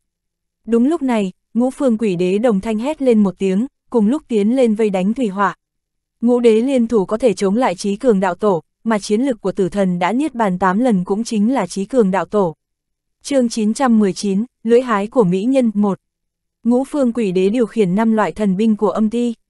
Thái Úc lũy hiển hóa pháp thân, mình cao hơn 10 trượng, hệt như ma thần quay lại. Thương diêm phù thế đại lực mạnh, nhấc tay đập vỡ khoảng không, hành động nhanh như sấm chớp, sát ý thâm sâu cuồn cuộn như sóng cả, từng đợt lại từng đợt, sóng sau xô sóng trước. Ông ta có chiến lược đạo tổ, dựa vào một thân quỷ khí cùng một kiện pháp bảo phòng ngự đỉnh cấp của âm ti tên gọi là trọng giáp bất động minh vương, trực tiếp đối chiến với thủy hỏa. Trong ngũ đế cũng chỉ có một mình ông ta dám trực tiếp đối đầu với cô ấy. Binh khí nam phương quỷ đế đỗ tử nhân sử dụng là một thanh giản có tên Diêm La, vũ khí này là một trong hai thanh kỳ binh, chuyên môn tấn công vào những điểm yếu hại của đối thủ. Kiện thần binh này từng được tế luyện tại cửu U Thâm Uyên, một khi tấn công kẻ thù liền xuất ra một đạo âm sát chi khí công kích địch nhân. Đỗ tử nhân giỏi đánh cận chiến, âm sát chi khí khó mà đề phòng. Thế nhưng hôm nay đối mặt với Thủy Họa, giản diêm la cũng chẳng cách nào phát huy uy lực. Nguyên nhân là bởi Thủy hỏa có thân thể của tử thần, âm sát chi khí không có tác dụng với cô. Không chỉ vậy sức mạnh của cô ấy còn có thể đả thương ngàn vạn pháp bảo. Thuật pháp câu hồn thần thông của âm ti đối với Thủy Họa mà nói cũng chẳng có lấy nửa điểm tác dụng. Pháp bảo của Tây Phương Quỷ Đế Triệu Văn Hòa tên gọi là roi kinh thần, một roi quất ra, uốn éo như xà. Roi kinh thần có thể đả thương thần hồn, bất luận âm thân của ác quỷ có cường đại đến đâu, một khi bị roi quất chúng, nháy mắt liền hóa thành cho bụi. Kẻ gây uy hiếp lớn nhất cho Thủy Họa chính là ông ta, năng lực tổn thương thần hồn của roi kinh thần có thể gây ảnh hưởng lớn tới cô ấy. Kiếm U Minh huyễn thủy của Bắc Phương Quỷ Đế Trương Hoành đã bị tôi phá hủy khi còn ở núi Tiểu Bạch, giờ đây ông ta cũng dùng một thanh kiếm, tên gọi là kiếm ác linh. Đã có vết xe đổ lần trước, Trương Hoành không dám dùng bản mệnh thần hồn của mình để tế luyện sự phẫn nộ của ác linh mà trực tiếp dùng thanh kiếm này hấp thụ oán khí của chúng trong huyết hải phù đồ. Tu vi của Trương Hoành có thể tăng lên nhanh chóng như vậy cũng nhờ những trải nghiệm của ông ta trong huyết hải phù đồ tại kiếp nạn âm ti thanh kiếm này mặc dù uy lực không bằng roi kinh thần nhưng lại thắng ở tốc độ, mà trong phạm vi bị tiếng gào khóc của ác linh công kích tinh thần, đối phương khó mà tránh khỏi. Binh khí này vì thế mà có thể gây ra không ít áp lực cho thủy hỏa. Pháp khí mà Trung ương quỷ đế kê khang sử dụng là một tấm bia tên Đại U Minh Chấn Hồn, tấm bia này hình dạng giống với bia chấn hồn tại 18 tầng địa ngục, toàn thân đen kịt, bị trói bằng một sợi huyền thiết. Kê khang có vẻ ngoại vạm vỡ khôi ngô, pháp thân so với Thái Úc Lũy còn cao lớn dũng mãnh hơn. Trong trận chiến này, tác dụng của bia chấn hồn chủ yếu dùng ngăn lại sát chiêu của Thùy Họa, áp chế khả năng xê dịch không gian của cô ấy. Ngũ phương quỷ đế mặc dù chỉ Thái Úc Lũy mới có thân thể đạo tổ, thế nhưng dưới sự thủ hộ của chiến giáp mà bọn họ đang mặc trên mình, mỗi người vì vậy đều có sức phòng ngự ngang bậc đạo tổ. Chưa kể quỷ đế còn có thể nhờ vào quỷ khí hộ thân để triệt tiêu ngọn lửa hắc viêm đang rừng rực cháy trên lưỡi hái của tử thần. Trong trận đấu này năm vị quỷ đế phối hợp vô cùng ăn ý, mỗi người một việc, ngay cả thủy họa sát phạt vô song, trong thời gian ngắn cũng không thể phân được thắng bại. Một bên là quỷ đế minh giới hiện nay, còn một bên là thái cổ minh giới tử thần, giữa thủy hỏa và ngũ phương quỷ đế không tránh khỏi một trận quyết chiến, mà hôm nay vừa hay là một dịp thích hợp. Ngũ phương quỷ đế uy phong lẫm liệt, dốc hết thủ đoạn, thể hiện phong thái của quỷ đế âm ti, mà thủy hỏa cũng không hổ danh thái cổ minh giới tử thần. Khác với năm vị quỷ đế sát khí bừng bừng, những đòn công kích do cô xuất ra còn mang theo vẻ diễm lệ gợi cảm khiến người ta kinh tâm động phách. Vóc dáng của Thủy Họa vốn dĩ rất mảnh mai yếu ớt, kể từ khi được tôi phong thần, ngoại hình đã thay đổi rất nhiều. Chiến giáp tử thần toàn thân đen tuyền, phong cách táo bạo không hề gò bó, thân dưới thiết kế theo kiểu váy chiến đấu, thắt lưng màu tuyết trắng. Đôi chân thon dài, đeo một đôi ủng dài tới đầu gối, lại ôm sát bắp chân, mũi ủng được thiết kế thành thiên nha loan đao, dưới gót mang theo đao phiến. Cùng với lưỡi hái tử thần không ngừng ngang dọc trong không trung, tóc trắng phi vũ, ngọn lửa hắc diệm trong mắt cô rừng rực cháy. Bạch phát hồng nhan, trong sát na rực rỡ hương thơm. Nếu như nói hình thiên múa giáo khiên tượng trưng cho trí anh hùng, vậy thì lúc thủy hỏa vẫy lưỡi đao tử thần chính là đại biểu cho trái tim của mỹ nhân. Giải thích điển cố hình thiên vũ can thích, nói về người khổng lồ hình thiên bị mất đầu vẫn múa giáo khiên để đấu với hoàng đế. Hết giải thích, anh hùng tụ nghĩa công chưa lập, mỹ nhân để đao trấn bát hoang. Trước đây cùng cô ấy rong ruổi xa trường, hiếm khi có cơ hội được chiêm ngưỡng vẻ mỹ lệ không gì sánh bằng tại cự ly gần như thế này. Hôm nay đôi mắt của tôi cuối cùng cũng được thỏa mãn. chương 920, Lưỡi hái của Mỹ Nhân 2 Trạng thái chiến đấu của Thủy Hỏa tràn trề ngạo nghễ, sát khí ngang dọc. Lợi dụng khe hở khi đối phương xuất thủ liền đem sát ý dung hợp thành một hình thái nghệ thuật, một loại hình nghệ thuật thuộc về giết chóc. Cô ấy tung hoành giết chóc, rực rỡ nơi chiến trường, giống như một đóa hoa nở rộ trong buổi bình minh. Trận chiến này có sức mạnh bậc thiên tôn đỉnh phong và đạo tổ, mặc dù không gian đã bị năm ngọn núi quỷ phong cấm, thế nhưng năng lượng hủy diệt sinh ra từ đòn công kích vẫn cứ tràn ra bên ngoài khu rừng bí mật, xông thẳng tới cửu tiêu. Kính tượng của bốn tòa núi quỷ đào chi, bá trùng, lạc phong, lạc phù chấn thủ bốn phương đông, tây, nam, bắc hãy còn có thể kiểm soát tình hình, mà núi bạo độc chấn thủ trên không đã xuất hiện vô số vết nứt. Một khi núi bão độc bị hủy, ván cờ chết chóc cũng coi như bị phá giải, đến khi đó nếu tôi và Thủy Họa muốn chạy trốn khỏi bọn chúng thì cũng chẳng ai có thể ngăn cản. Chỉ có điều, âm ti nếu đã muốn giết tôi và Thủy Họa, vậy thì không có khả năng chỉ phái năm vị quỷ đế, chắc chắn còn có mai phục khác. Quả nhiên, vào lúc núi bão độc sắp sửa sụp đổ, một cỗ quỷ khí khổng lồ từ trên không trung giáng xuống kính tượng của ngọn núi, khiến cơn chấn động cũng dần ổn định lại. Về sau tôi mới biết, âm ti mặc dù đánh giá thấp sức chiến đấu của Thủy Họa, thế nhưng nhân đạo đã tiết lộ chiến lực của tôi cho âm ti. Trong số những người tham gia vào màn vây sát lần này, ngũ phương quỷ đế chỉ là bài toán thử nghiệm, sát cơ thật sự hãy còn chưa chính thức xuất hiện. Trận chiến trên không không dừng không nghỉ, hai bên đều dốc mọi thủ đoạn. Ban đầu Thủy hỏa còn có chút bối rối, đều dựa vào thân thể tử thần cường đại lấy thương đối thương, khiến cho mấy vị quỷ đế phải thay đổi chiêu thức liên tục. Thời gian dần dần trôi đi, Thủy Hỏa càng lúc càng quen với lần niết bàn thứ 8 này, lưỡi hái tử thần có khi giống như trăng tàn dạng đông, có khi lại như trăng trồm trong nước, lung linh sông này, có khi giống như sương hoa phủ đầy trời, lại có khi cháy rực như sao băng. Tây phương quỷ đế Triệu Văn Hòa là người đầu tiên không thể chịu nổi, do kinh thần của Triệu Văn Hòa là uy hiếp lớn nhất của Thủy Hỏa, vì vậy mà Thủy Hỏa đối với ông ta càng tăng thêm nhiều sát chiêu. Nếu không phải bia chấn hồn của Trung ương quỷ đế đã liên tiếp hai lần đánh gãy mấy đòn chảm sát của Thủy Họa, Triệu Văn Hòa đã sớm vong mạng dưới lưỡi hái của cô ấy rồi. Cùng với đòn tấn công mạnh mẽ của Đông Phương quỷ đế Thái Úc Lũy, Bắc Phương quỷ đế Trương Hoành từ phía sau xuất kiếm ác linh, giản diêm la và roi kinh thần trong tay Tây Phương quỷ đế Triệu Văn Hòa và Nam Phương quỷ đế Đỗ Tử Lôi một trái một phải thi nhau xung kích, trên không lại có bia chấn hồn của Trung ương quỷ đế kê khang chấn áp. Ngũ Phương quỷ đế đã dốc toàn lực, một lần nữa xuất ra làn sóng hủy diệt nhằm vào Thùy Họa. Thùy Họa trước là hét lên một tiếng, dựa vào lưỡi hái tử thần đẩy lùi công kích của thương diêm phù trong tay Thái Úc Lũy, sau đó đột nhiên lộn ngược, chân đạp mạnh lên bia chấn hồn của kê khang. Mượn lực từ hai chân, tốc độ di chuyển thân pháp nhanh vô cùng, người và hái hóa thành một chùm sáng màu đen, tránh né kiếm ác linh trong tay Trương Hoành và giản diêm la của Đỗ Tử Nhân, cuối cùng, dùng sát chiêu bạo phát triệu văn hòa. Lúc này, bia chấn hồn của kê khang bị Thùy Họa dẫm lên phá vỡ thế phòng thủ, không kịp thay đổi chiêu thức để cứu nguy cho Triệu Văn Hòa, mà ba vị quỷ đế khác cũng trong tình trạng tay ngắn chẳng với tới trời, không thể đuổi kịp tốc độ của cô ấy. Đợi tới khi Triệu Văn Hòa đánh hơi thấy mùi bất thường, muốn thoát thân rút lui, roi kinh thần đã bị Thùy hỏa bắt lấy, cùng lúc ấy lưỡi hái tử thần trong tay cô vẽ lên một đường cong cong như mảnh trăng khuyết chém về phía ông ta. Triệu Văn Hòa theo bản năng cơ hồ muốn vứt bỏ roi kinh thần, thế nhưng vẫn không hoàn toàn tránh được lưỡi hái của Thùy hỏa Lưỡi hái như nguyệt, nguyệt như biệt ly, chỉ nghe thấy một tiếng nổ lớn vang lên chấn động, chiến giáp quỷ đế trên người Triệu Văn Hòa đã bị lưỡi hái tử thần nghiền nát kính hộ tâm. Triệu Văn Hòa thảm thiết kêu lên, pháp thân văng ra. Tay trái Thủy Hỏa cầm roi hướng về phía sau quất một cái, đẩy lùi trận công kích của ba vị quỷ đế, cùng lúc đó lại nhanh như tia chớp lao về phía Triệu Văn Hòa, thể phải giết chết người này. Một đòn nặng nề mà Triệu Văn Hòa phải chịu trước đó không chỉ phá nát chiến giáp quỷ đế mà còn khiến cho thiên tôn đạo thể bị tổn thương nghiêm trọng, mất đi phần lớn sinh cơ. Lại thêm trong tay không còn roi kinh thần, vô luận làm thế nào cũng không thoát khỏi sự truy sát của tử thần. Ngay khi lưỡi hái tử thần một lần nữa vung lên chém vào gáy Triệu Văn Hòa, giống như trăng khuyết lúc dạng đông, một đạo quỷ ảnh lầm lẫm từ trong núi bá trùng ở phía tây bay ra. Hắn nhấc tay về phía thủy hỏa phóng ra một chuỗi tự phù màu đen. Mỗi đạo tự phù đều mang trong mình sức mạnh gây tổn thương thần hồn. Lúc này đây thân pháp của thủy hỏa đã trở nên lão luyện, lại thêm cô ấy dùng tốc độ cực hạn lao vào triệu văn hòa, trong lúc hốt hoảng nhất thời không thể tránh kịp. Tổng cộng có 9 đạo tự phù, tất cả đều lao vào tấn công cô ấy chín đạo tử phù này lần lượt là, lâm binh đổ giả giai trận liệt tiền hành. Tức là vệ binh đang xếp hàng chuẩn bị lâm trận. Ban đầu nó xuất phát từ chín đại hộ pháp thiên tôn của nhân đạo, dùng để khích lệ chiến ý, sau lại được địa tạng vương của âm ti tiếp thu ý nghĩa sâu xa bên trong, luyện thành cửu tự chân ngôn dùng để chấn ngục, truyền cho người giám sát ác quỷ trong địa ngục là ác quỷ đạo giám sát sử. Chấn ngục cửu tự chân ngôn thần chú vốn nhằm chấn áp ác quỷ, có sức mạnh làm tan dã oán hận phẫn nộ. Cho dù Thùy Hỏa có thân thể tử thần, bị tự phù này đánh trúng trong phút chốc cũng liền thất thủ, sát chiêu nháy mắt liền tan vỡ, chiến ý đương nhiên cũng không còn. Cũng trong lúc này, bốn vị quỷ đế từ phía sau một đường chém lên. chương 921, quỷ đế vẫn lạc một. Tôi đã sớm biết âm ti không thể nào chỉ phái năm vị quỷ đế ra trận, vì vậy khi ngã quỷ đạo giám sát sử xuất hiện tôi cũng không quá ngạc nhiên.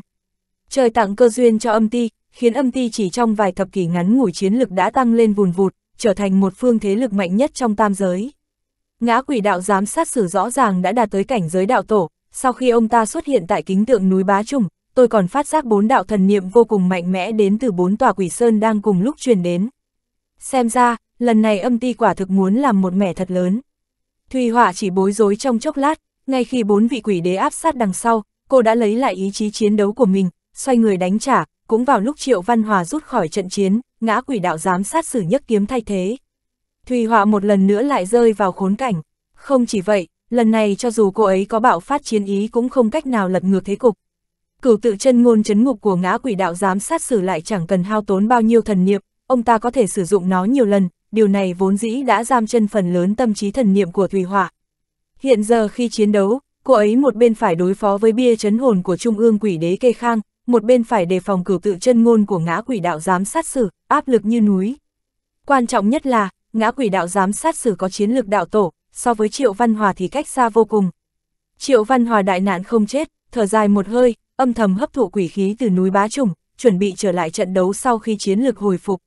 Năm tòa quỷ sơn này không chỉ phong cấm không gian mà còn là căn nguyên sức mạnh chiến đấu của ngũ phương quỷ đế.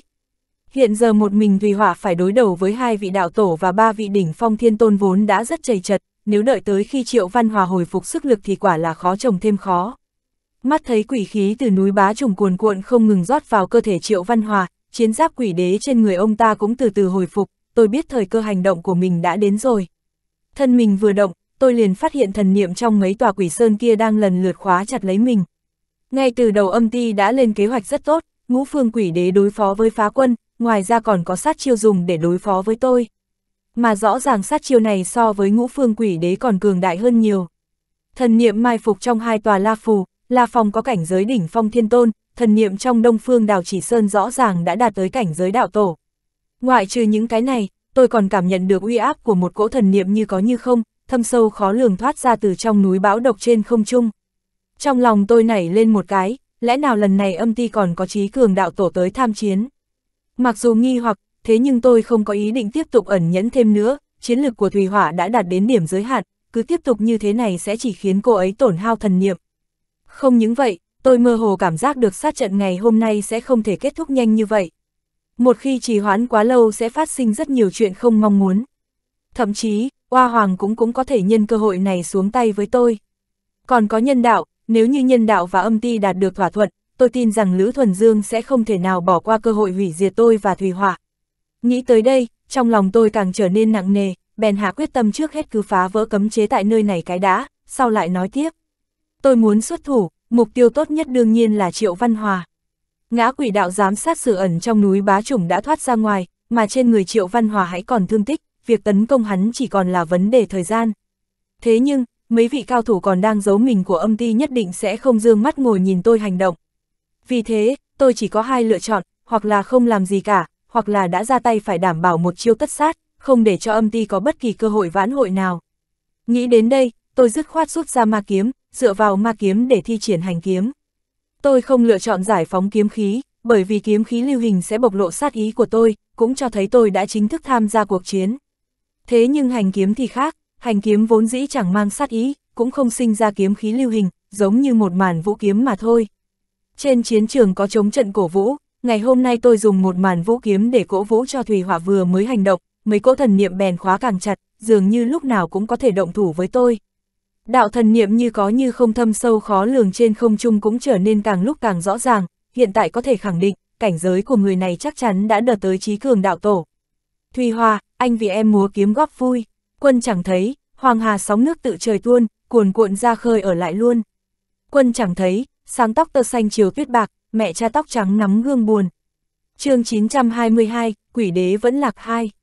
Sau khi niệm xong hai câu thơ trên, mấy đạo thần niệm vốn đang khóa chặt tôi cũng không nhúc nhích gì thêm, cũng không tiếp tục gia tăng sức mạnh.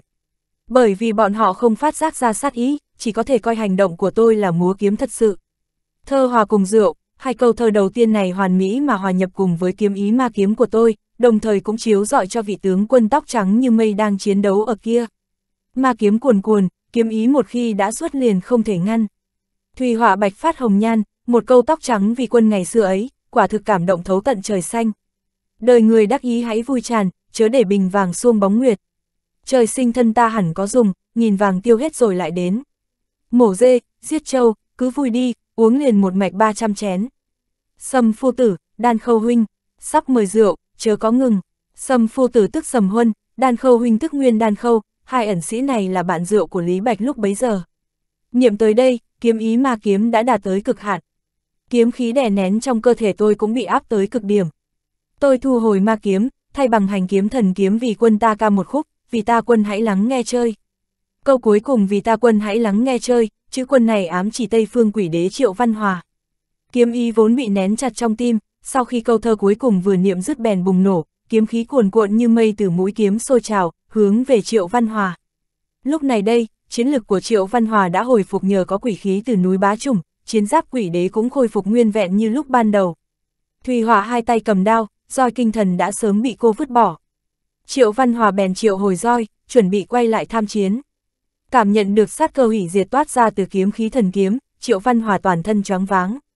Phúc sinh vô lượng thiên tôn, người đầu tiên có phản ứng chính là vị trí cường đạo tổ trong núi bão độc, đạo chú vừa niệm, một cỗ sức mạnh vô cùng tinh thuần ẩn chứa năng lượng bảo vệ tối thượng bao trùm lấy Triệu Văn Hòa.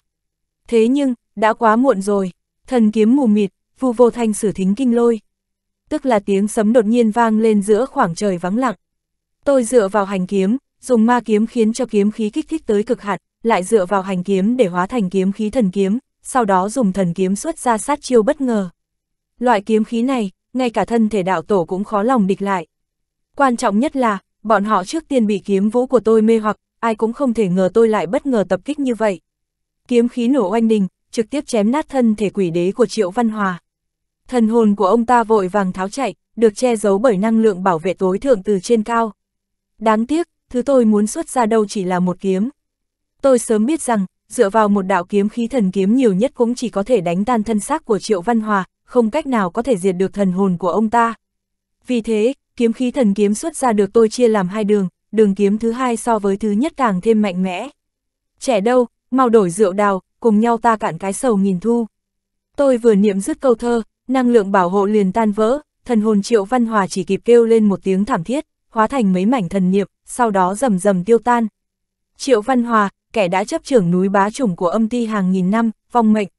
Âm ti, thần điện phong bộ, sự ra đi của Triệu Văn Hòa làm dung chuyển cả huyền quan của Bắc âm đại đế châu khất, bởi vì cờ chiêu hồn của âm ti được giấu trong huyền quan của ông ta. Trận chiến phong thần đã bắt đầu, sự tồn tại của mỗi vị quỷ đế đối với âm ti mà nói là vô cùng quan trọng. Tây phương quỷ đế Triệu Văn Hòa, chỉ riêng núi Bá Chủng đã có 3 triệu tư binh tập trung, ngoài ra còn có hàng chục chiến tướng cấp thiên tôn chịu sự sai phái của ông ta. Mặc dù âm ti có thể chọn người kế vị quỷ đế, tuy nhiên, thế lực tinh anh mà Triệu Văn Hòa khổ tâm bồi dưỡng hàng nghìn năm không thể nào một sớm một chiều có thể chấp nhận được. Kỳ thực, với tình hình hiện tại của âm ti, việc mất đi một vị quỷ đế vẫn còn trong phạm vi có thể chấp nhận. Thế nhưng Châu khất nuốt không trôi cục tức này, kể từ lúc từ trong miệng nhân đạo biết được tam kiếm của ma đạo tổ sư đã viên mãn đại thành, Châu khất liền không ngừng củng cố sức mạnh. Không chỉ phái ra ba vị còn lại trong lục đạo giám sát xử, còn an bài hàng chục vị chiến tướng cảnh giới phong thiên tôn, thậm chí còn mời cả vị vốn dĩ không có ý định tham gia cuộc chiến phong thần, tất cả chỉ để đảm bảo lần này âm ti có thể tiêu diệt hoàn toàn ma đạo tổ sư và tướng phá quân. Hiện giờ kết quả trận đấu vẫn chưa truyền tới, Châu Khất đã nhận được tin tức về cái chế của Tây Phương quỷ đế Triệu Văn Hòa, cục tức này ông ta làm sao có thể nuốt trôi. Ví như, nếu âm ti phái ra nhiều nhân thủ như vậy vẫn không thể tiêu diệt phu thê tạ lan, chuyện này nhất định sẽ ảnh hưởng tới sĩ khi âm ti, tương lai làm sao có thể tấn công quy khư. Châu Khất phân uất tới cực điểm, thậm chí còn muốn đích thân lên hạ giới, thế nhưng còn e ngại thân phận, không muốn trở thành trò cười cho tam giới. Dù sao ma đạo tổ sư bây giờ cũng không phải là vị trước kia, không đáng để ông ta làm như vậy. So với Châu Khất đang cực kỳ phẫn nộ, cửu u nữ đế rõ ràng là điềm tĩnh hơn rất nhiều. Nữ đế chấp trưởng luân hồi của lục giới, do đó cũng cùng lúc biết được tin tức về cái chết của Triệu Văn Hòa. Nữ đế, sát cục đã hình thành, Châu Khất tuyệt đối sẽ không chủ động thoái lui, với chiến lược của phu thê tạ lan, âm ti chỉ sợ lại mất thêm một vị đại tướng. Ngài dù sao cũng là chủ của âm ti, cũng không thể ngồi im nhìn quỷ đế của chúng ta cứ thế vong mạng. Mạnh bà Thiên Tôn nói, không sao, nếu không có trận chiến này, Châu Khất sẽ không thể lường được sức mạnh của ma đạo, tương lai tấn công quy khư chỉ thêm thương tổn càng nhiều. Hy vọng cái chết lần này của Triệu Văn Hòa có thể khiến hắn ta bình tĩnh lại. Cửu U nữ đế đáp, vạn nhất lại có thêm một vị quỷ đế ngã xuống thì sao? Mạnh bà lại hỏi, sẽ không có nữa, ông ta có lẽ đã xuất thủ rồi. Ai, địa tạng vương thiên tôn, chương 923, huyết chiến âm ti 1. Sau khi triệu văn hòa vong mệnh, chiến lực vốn đang ẩn giấu của âm ti thi nhau xuất kích, điên cuồng hướng tôi chém giết, uy hiếp lớn nhất đến từ vị trí cường đạo tổ đang ở trên cao kia. Phúc sinh vô lượng thiên tôn, chỉ nghe lời này cất lên, một cỗ thần niệm minh mông cường đại hóa thành một cỗ đạo phù gồm 9 chữ hắc mang lấp lánh rực cháy đánh về phía tôi. Cùng là đạo chú chấn ngục cửu tự chân ngôn, uy lực ẩn chứa trong đạo chú do người này xuất ra so với ngã quỷ đạo giám sát xử mạnh hơn không biết bao nhiêu. Điều này vừa hay giúp tôi biết được thân phận của người đó, địa tạng vương thiên tôn của 18 tầng địa ngục âm ti. Ngoại trừ địa tạng vương, còn có một đạo sát cơ sắc bén vô cùng truyền đến từ trong đông phương đảo chỉ sơn, nhân đạo giám sát sử hiện thân. Thêm vào đó hãy còn vô số sát ý đến từ Nam Phương La Phù và Bắc Phương La Phong Thiên Tôn. Sát cơ vô cùng vô tận, toàn bộ đều khóa chặt lấy tôi. Sau khi chứng kiến tôi chỉ dùng một chiêu kiếm liền hủy diệt Tây Phương quỷ đế Triệu Văn Hòa, âm ti liền không trở lại bất kỳ đường lui nào cho tôi. Tạ Lan, cẩn thận cửu tự chân ngôn, Thùy Họa trong lúc gấp rút trăm bề vẫn không quên nhắc nhở tôi. Được, không cần cô ấy nhắc nhở tôi cũng biết tuyệt đối không thể để cửu tự chân ngôn chú đánh chúng. Nếu không, chỉ cần tôi hoảng hốt một giây, ngay lập tức sẽ bị sát cơ bốn phía nhấn chìm. Đầu tiên, tôi lựa chọn thúc đẩy kiếm khí ma kiếm, kiếm khí hóa thành dòng thác, cứ vậy mà cuốn trôi cửu tự chân ngôn của địa tạng vương thiên tôn. Sau đó, tôi lập tức sử dụng thần kiếm, kích phát kiếm khí hướng về phía vị nhân đạo giám sát sử đang không ngừng dùng cây thương phù đồ trong tay liên tiếp tấn công, buộc ông ta không thể không đề phòng. Sau thần kiếm, tôi liền phát huy phương pháp hành kiếm, dùng thân dẫn dắt quỷ kiếm. Quỷ kiếm âm u, không thể nắm bắt, tôi dùng thân lĩnh kiếm, thân pháp cùng với ý nghĩa thâm sâu của quỷ kiếm cũng trở nên không thể nắm bắt, trực tiếp thoát khỏi cấm chế vốn đang khóa chặt của thần niệm âm ti thiên tôn, gấp rút bay về phía kính tượng núi bá trùng ở phía tây. Cho tới khi nhân ảnh của tôi lóe lên, một kiếm của ma kiếm xé rách không trung chém về núi bá trùng. Chỉ nghe thấy một tiếng sấm nổ, bụi trần bay khắp bốn phương, núi bá trùng cứ thế bị kiếm khí ma kiếm làm cho nát vụn. Một loạt hành động này, từ giết địch, phán đoán kẻ địch, nghênh địch, đẩy lùi địch, tránh địch, cho đến kiếm cuối cùng phá nát núi bá trùng, mỗi một đạo thần niệm chuyển hóa, mỗi một giây đều đạt tới đỉnh cao, không hề có một chút sai sót nào, một điểm nhầm lẫn cũng không lưu lại cho âm ti. Nếu như là trước đây, tôi chẳng cách nào làm được điều này. Tất cả đều là nhờ trái tim thất khiếu linh lung. Trái tim thất khiếu linh lung đã tăng cường sức mạnh cho ngũ căn lục thức của tôi, trao cho tôi năng lực nhìn thấu mọi sự, đoán trước ý đồ của địch nhân, ra tay sau nhưng lại tới đích trước. Tuy rằng nói hiện giờ tam kiếm của tôi hãy còn chưa viên mãn đại thành thế nhưng phương pháp hành kiếm cũng có thể khiến cho thái cổ tam kiếm của tôi tùy ý chuyển hóa. Cùng với kính tượng núi bá trùng bị hủy, sát cục của âm ti liền lộ ra khoảng trống tại phía tây. Địa tạng vương thiên tôn từ trên trời giáng xuống, chấn giữ vị trí chủ sát ở phía tây, một lần nữa phong tỏa không gian. Lúc này, cục diện chiến đấu phân thành hai bên, trên không trung tùy họa nghênh đấu với đông phương quỷ đế Thái Úc Lũy, nam phương quỷ đế Đỗ Tử Nhân, bắc phương quỷ đế Trương Hoành, trung ương quỷ đế Kê Khang, ngã quỷ đạo giám sát xử. Mà ở dưới đất, tôi đang nghênh chiến với trí cường đạo tổ địa tạng Vương Thiên Tôn, đạo tổ nhân đạo giám sát xử và một số chiến tướng của âm ti. Phu thê chúng tôi, mỗi người đều đang gánh chịu áp lực nặng nề, rơi vào khổ trận. Pháp bảo công kích của địa tạng Vương Thiên Tôn gọi là minh ngục cửu phẩm hồng liên kiếm, có thể nhất kiếm hóa cửu kiếm, có khi là một kiếm, lại có khi là chín kiếm. Thân kiếm mang theo hồng liên nghiệp hỏa, có thể trực tiếp thiêu đốt thần hồn, căn bản khó mà đề phòng. Lại thêm ông ta lúc nào cũng có thể xuất ra cửu tự chân ngôn chú, một mình ông ta cũng đủ trở thành kình địch của tôi. Nếu không phải tôi đã lĩnh ngộ được phương pháp hành kiếm, có thể dùng thân dẫn dắt quỷ kiếm, trốn vào hư vô trong khoảnh khắc nhất định thì đã sớm chết mấy lần trong tay ông ta.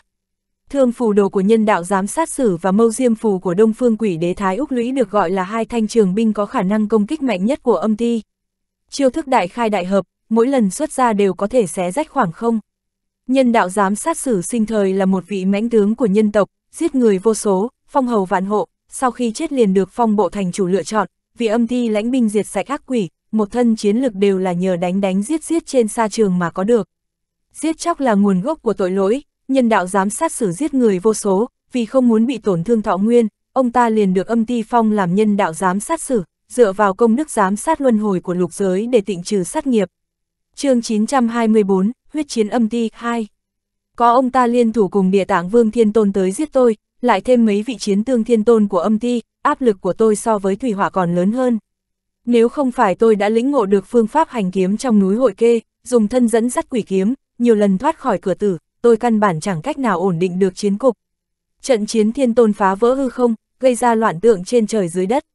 Vậy thì trận chiến đạo tổ càng có khả năng khiến cho trời long đất lở. Mặc dù nơi này đã bị phong cấm đến một con ruồi cũng không thể lọt, sát cơ hủy diệt bùng phát tại khu rừng bí mật này vẫn khiến tam giới chấn động. Đây chú định là một trận chiến tổn thương nặng nề, địa tạng vương thiên tôn tu hành hàng nghìn năm tại 18 tầng địa ngục, thần niệm nhiều vô cùng vô tận, lấy không bao giờ hết, dùng chẳng bao giờ vơi, so sánh ra vẫn trên cơ tôi. Về phần các vị quỷ đế khác, chỉ cần kính tượng núi quỷ hãy còn, bọn họ lúc nào cũng có thể sử dụng quỷ khí để hồi phục chiến lực. Nơi này không có hồn năng, chiến lực của Thùy Họa chắc chắn không thể duy trì quá lâu, mà tôi bởi vì thường xuyên thay đổi thái cổ tam kiếm, thần niệm cũng đã hao tổn rất nhiều. Nếu cứ tiếp tục chiến như thế này, sớm muộn gì tôi và Thủy Hỏa cũng bị âm ti đánh bại. Giờ đây kính tượng của núi bá trùng ở phía tây đã bị phá vỡ, nếu như hai chúng tôi liều mạng xông lên, nhất tề đẩy lui địa tạng vương thiên tôn để tranh lấy một cơ hội trốn thoát khỏi đây cũng không phải là không thể. Thế nhưng, nếu cứ như vậy rời đi, tôi không cam tâm.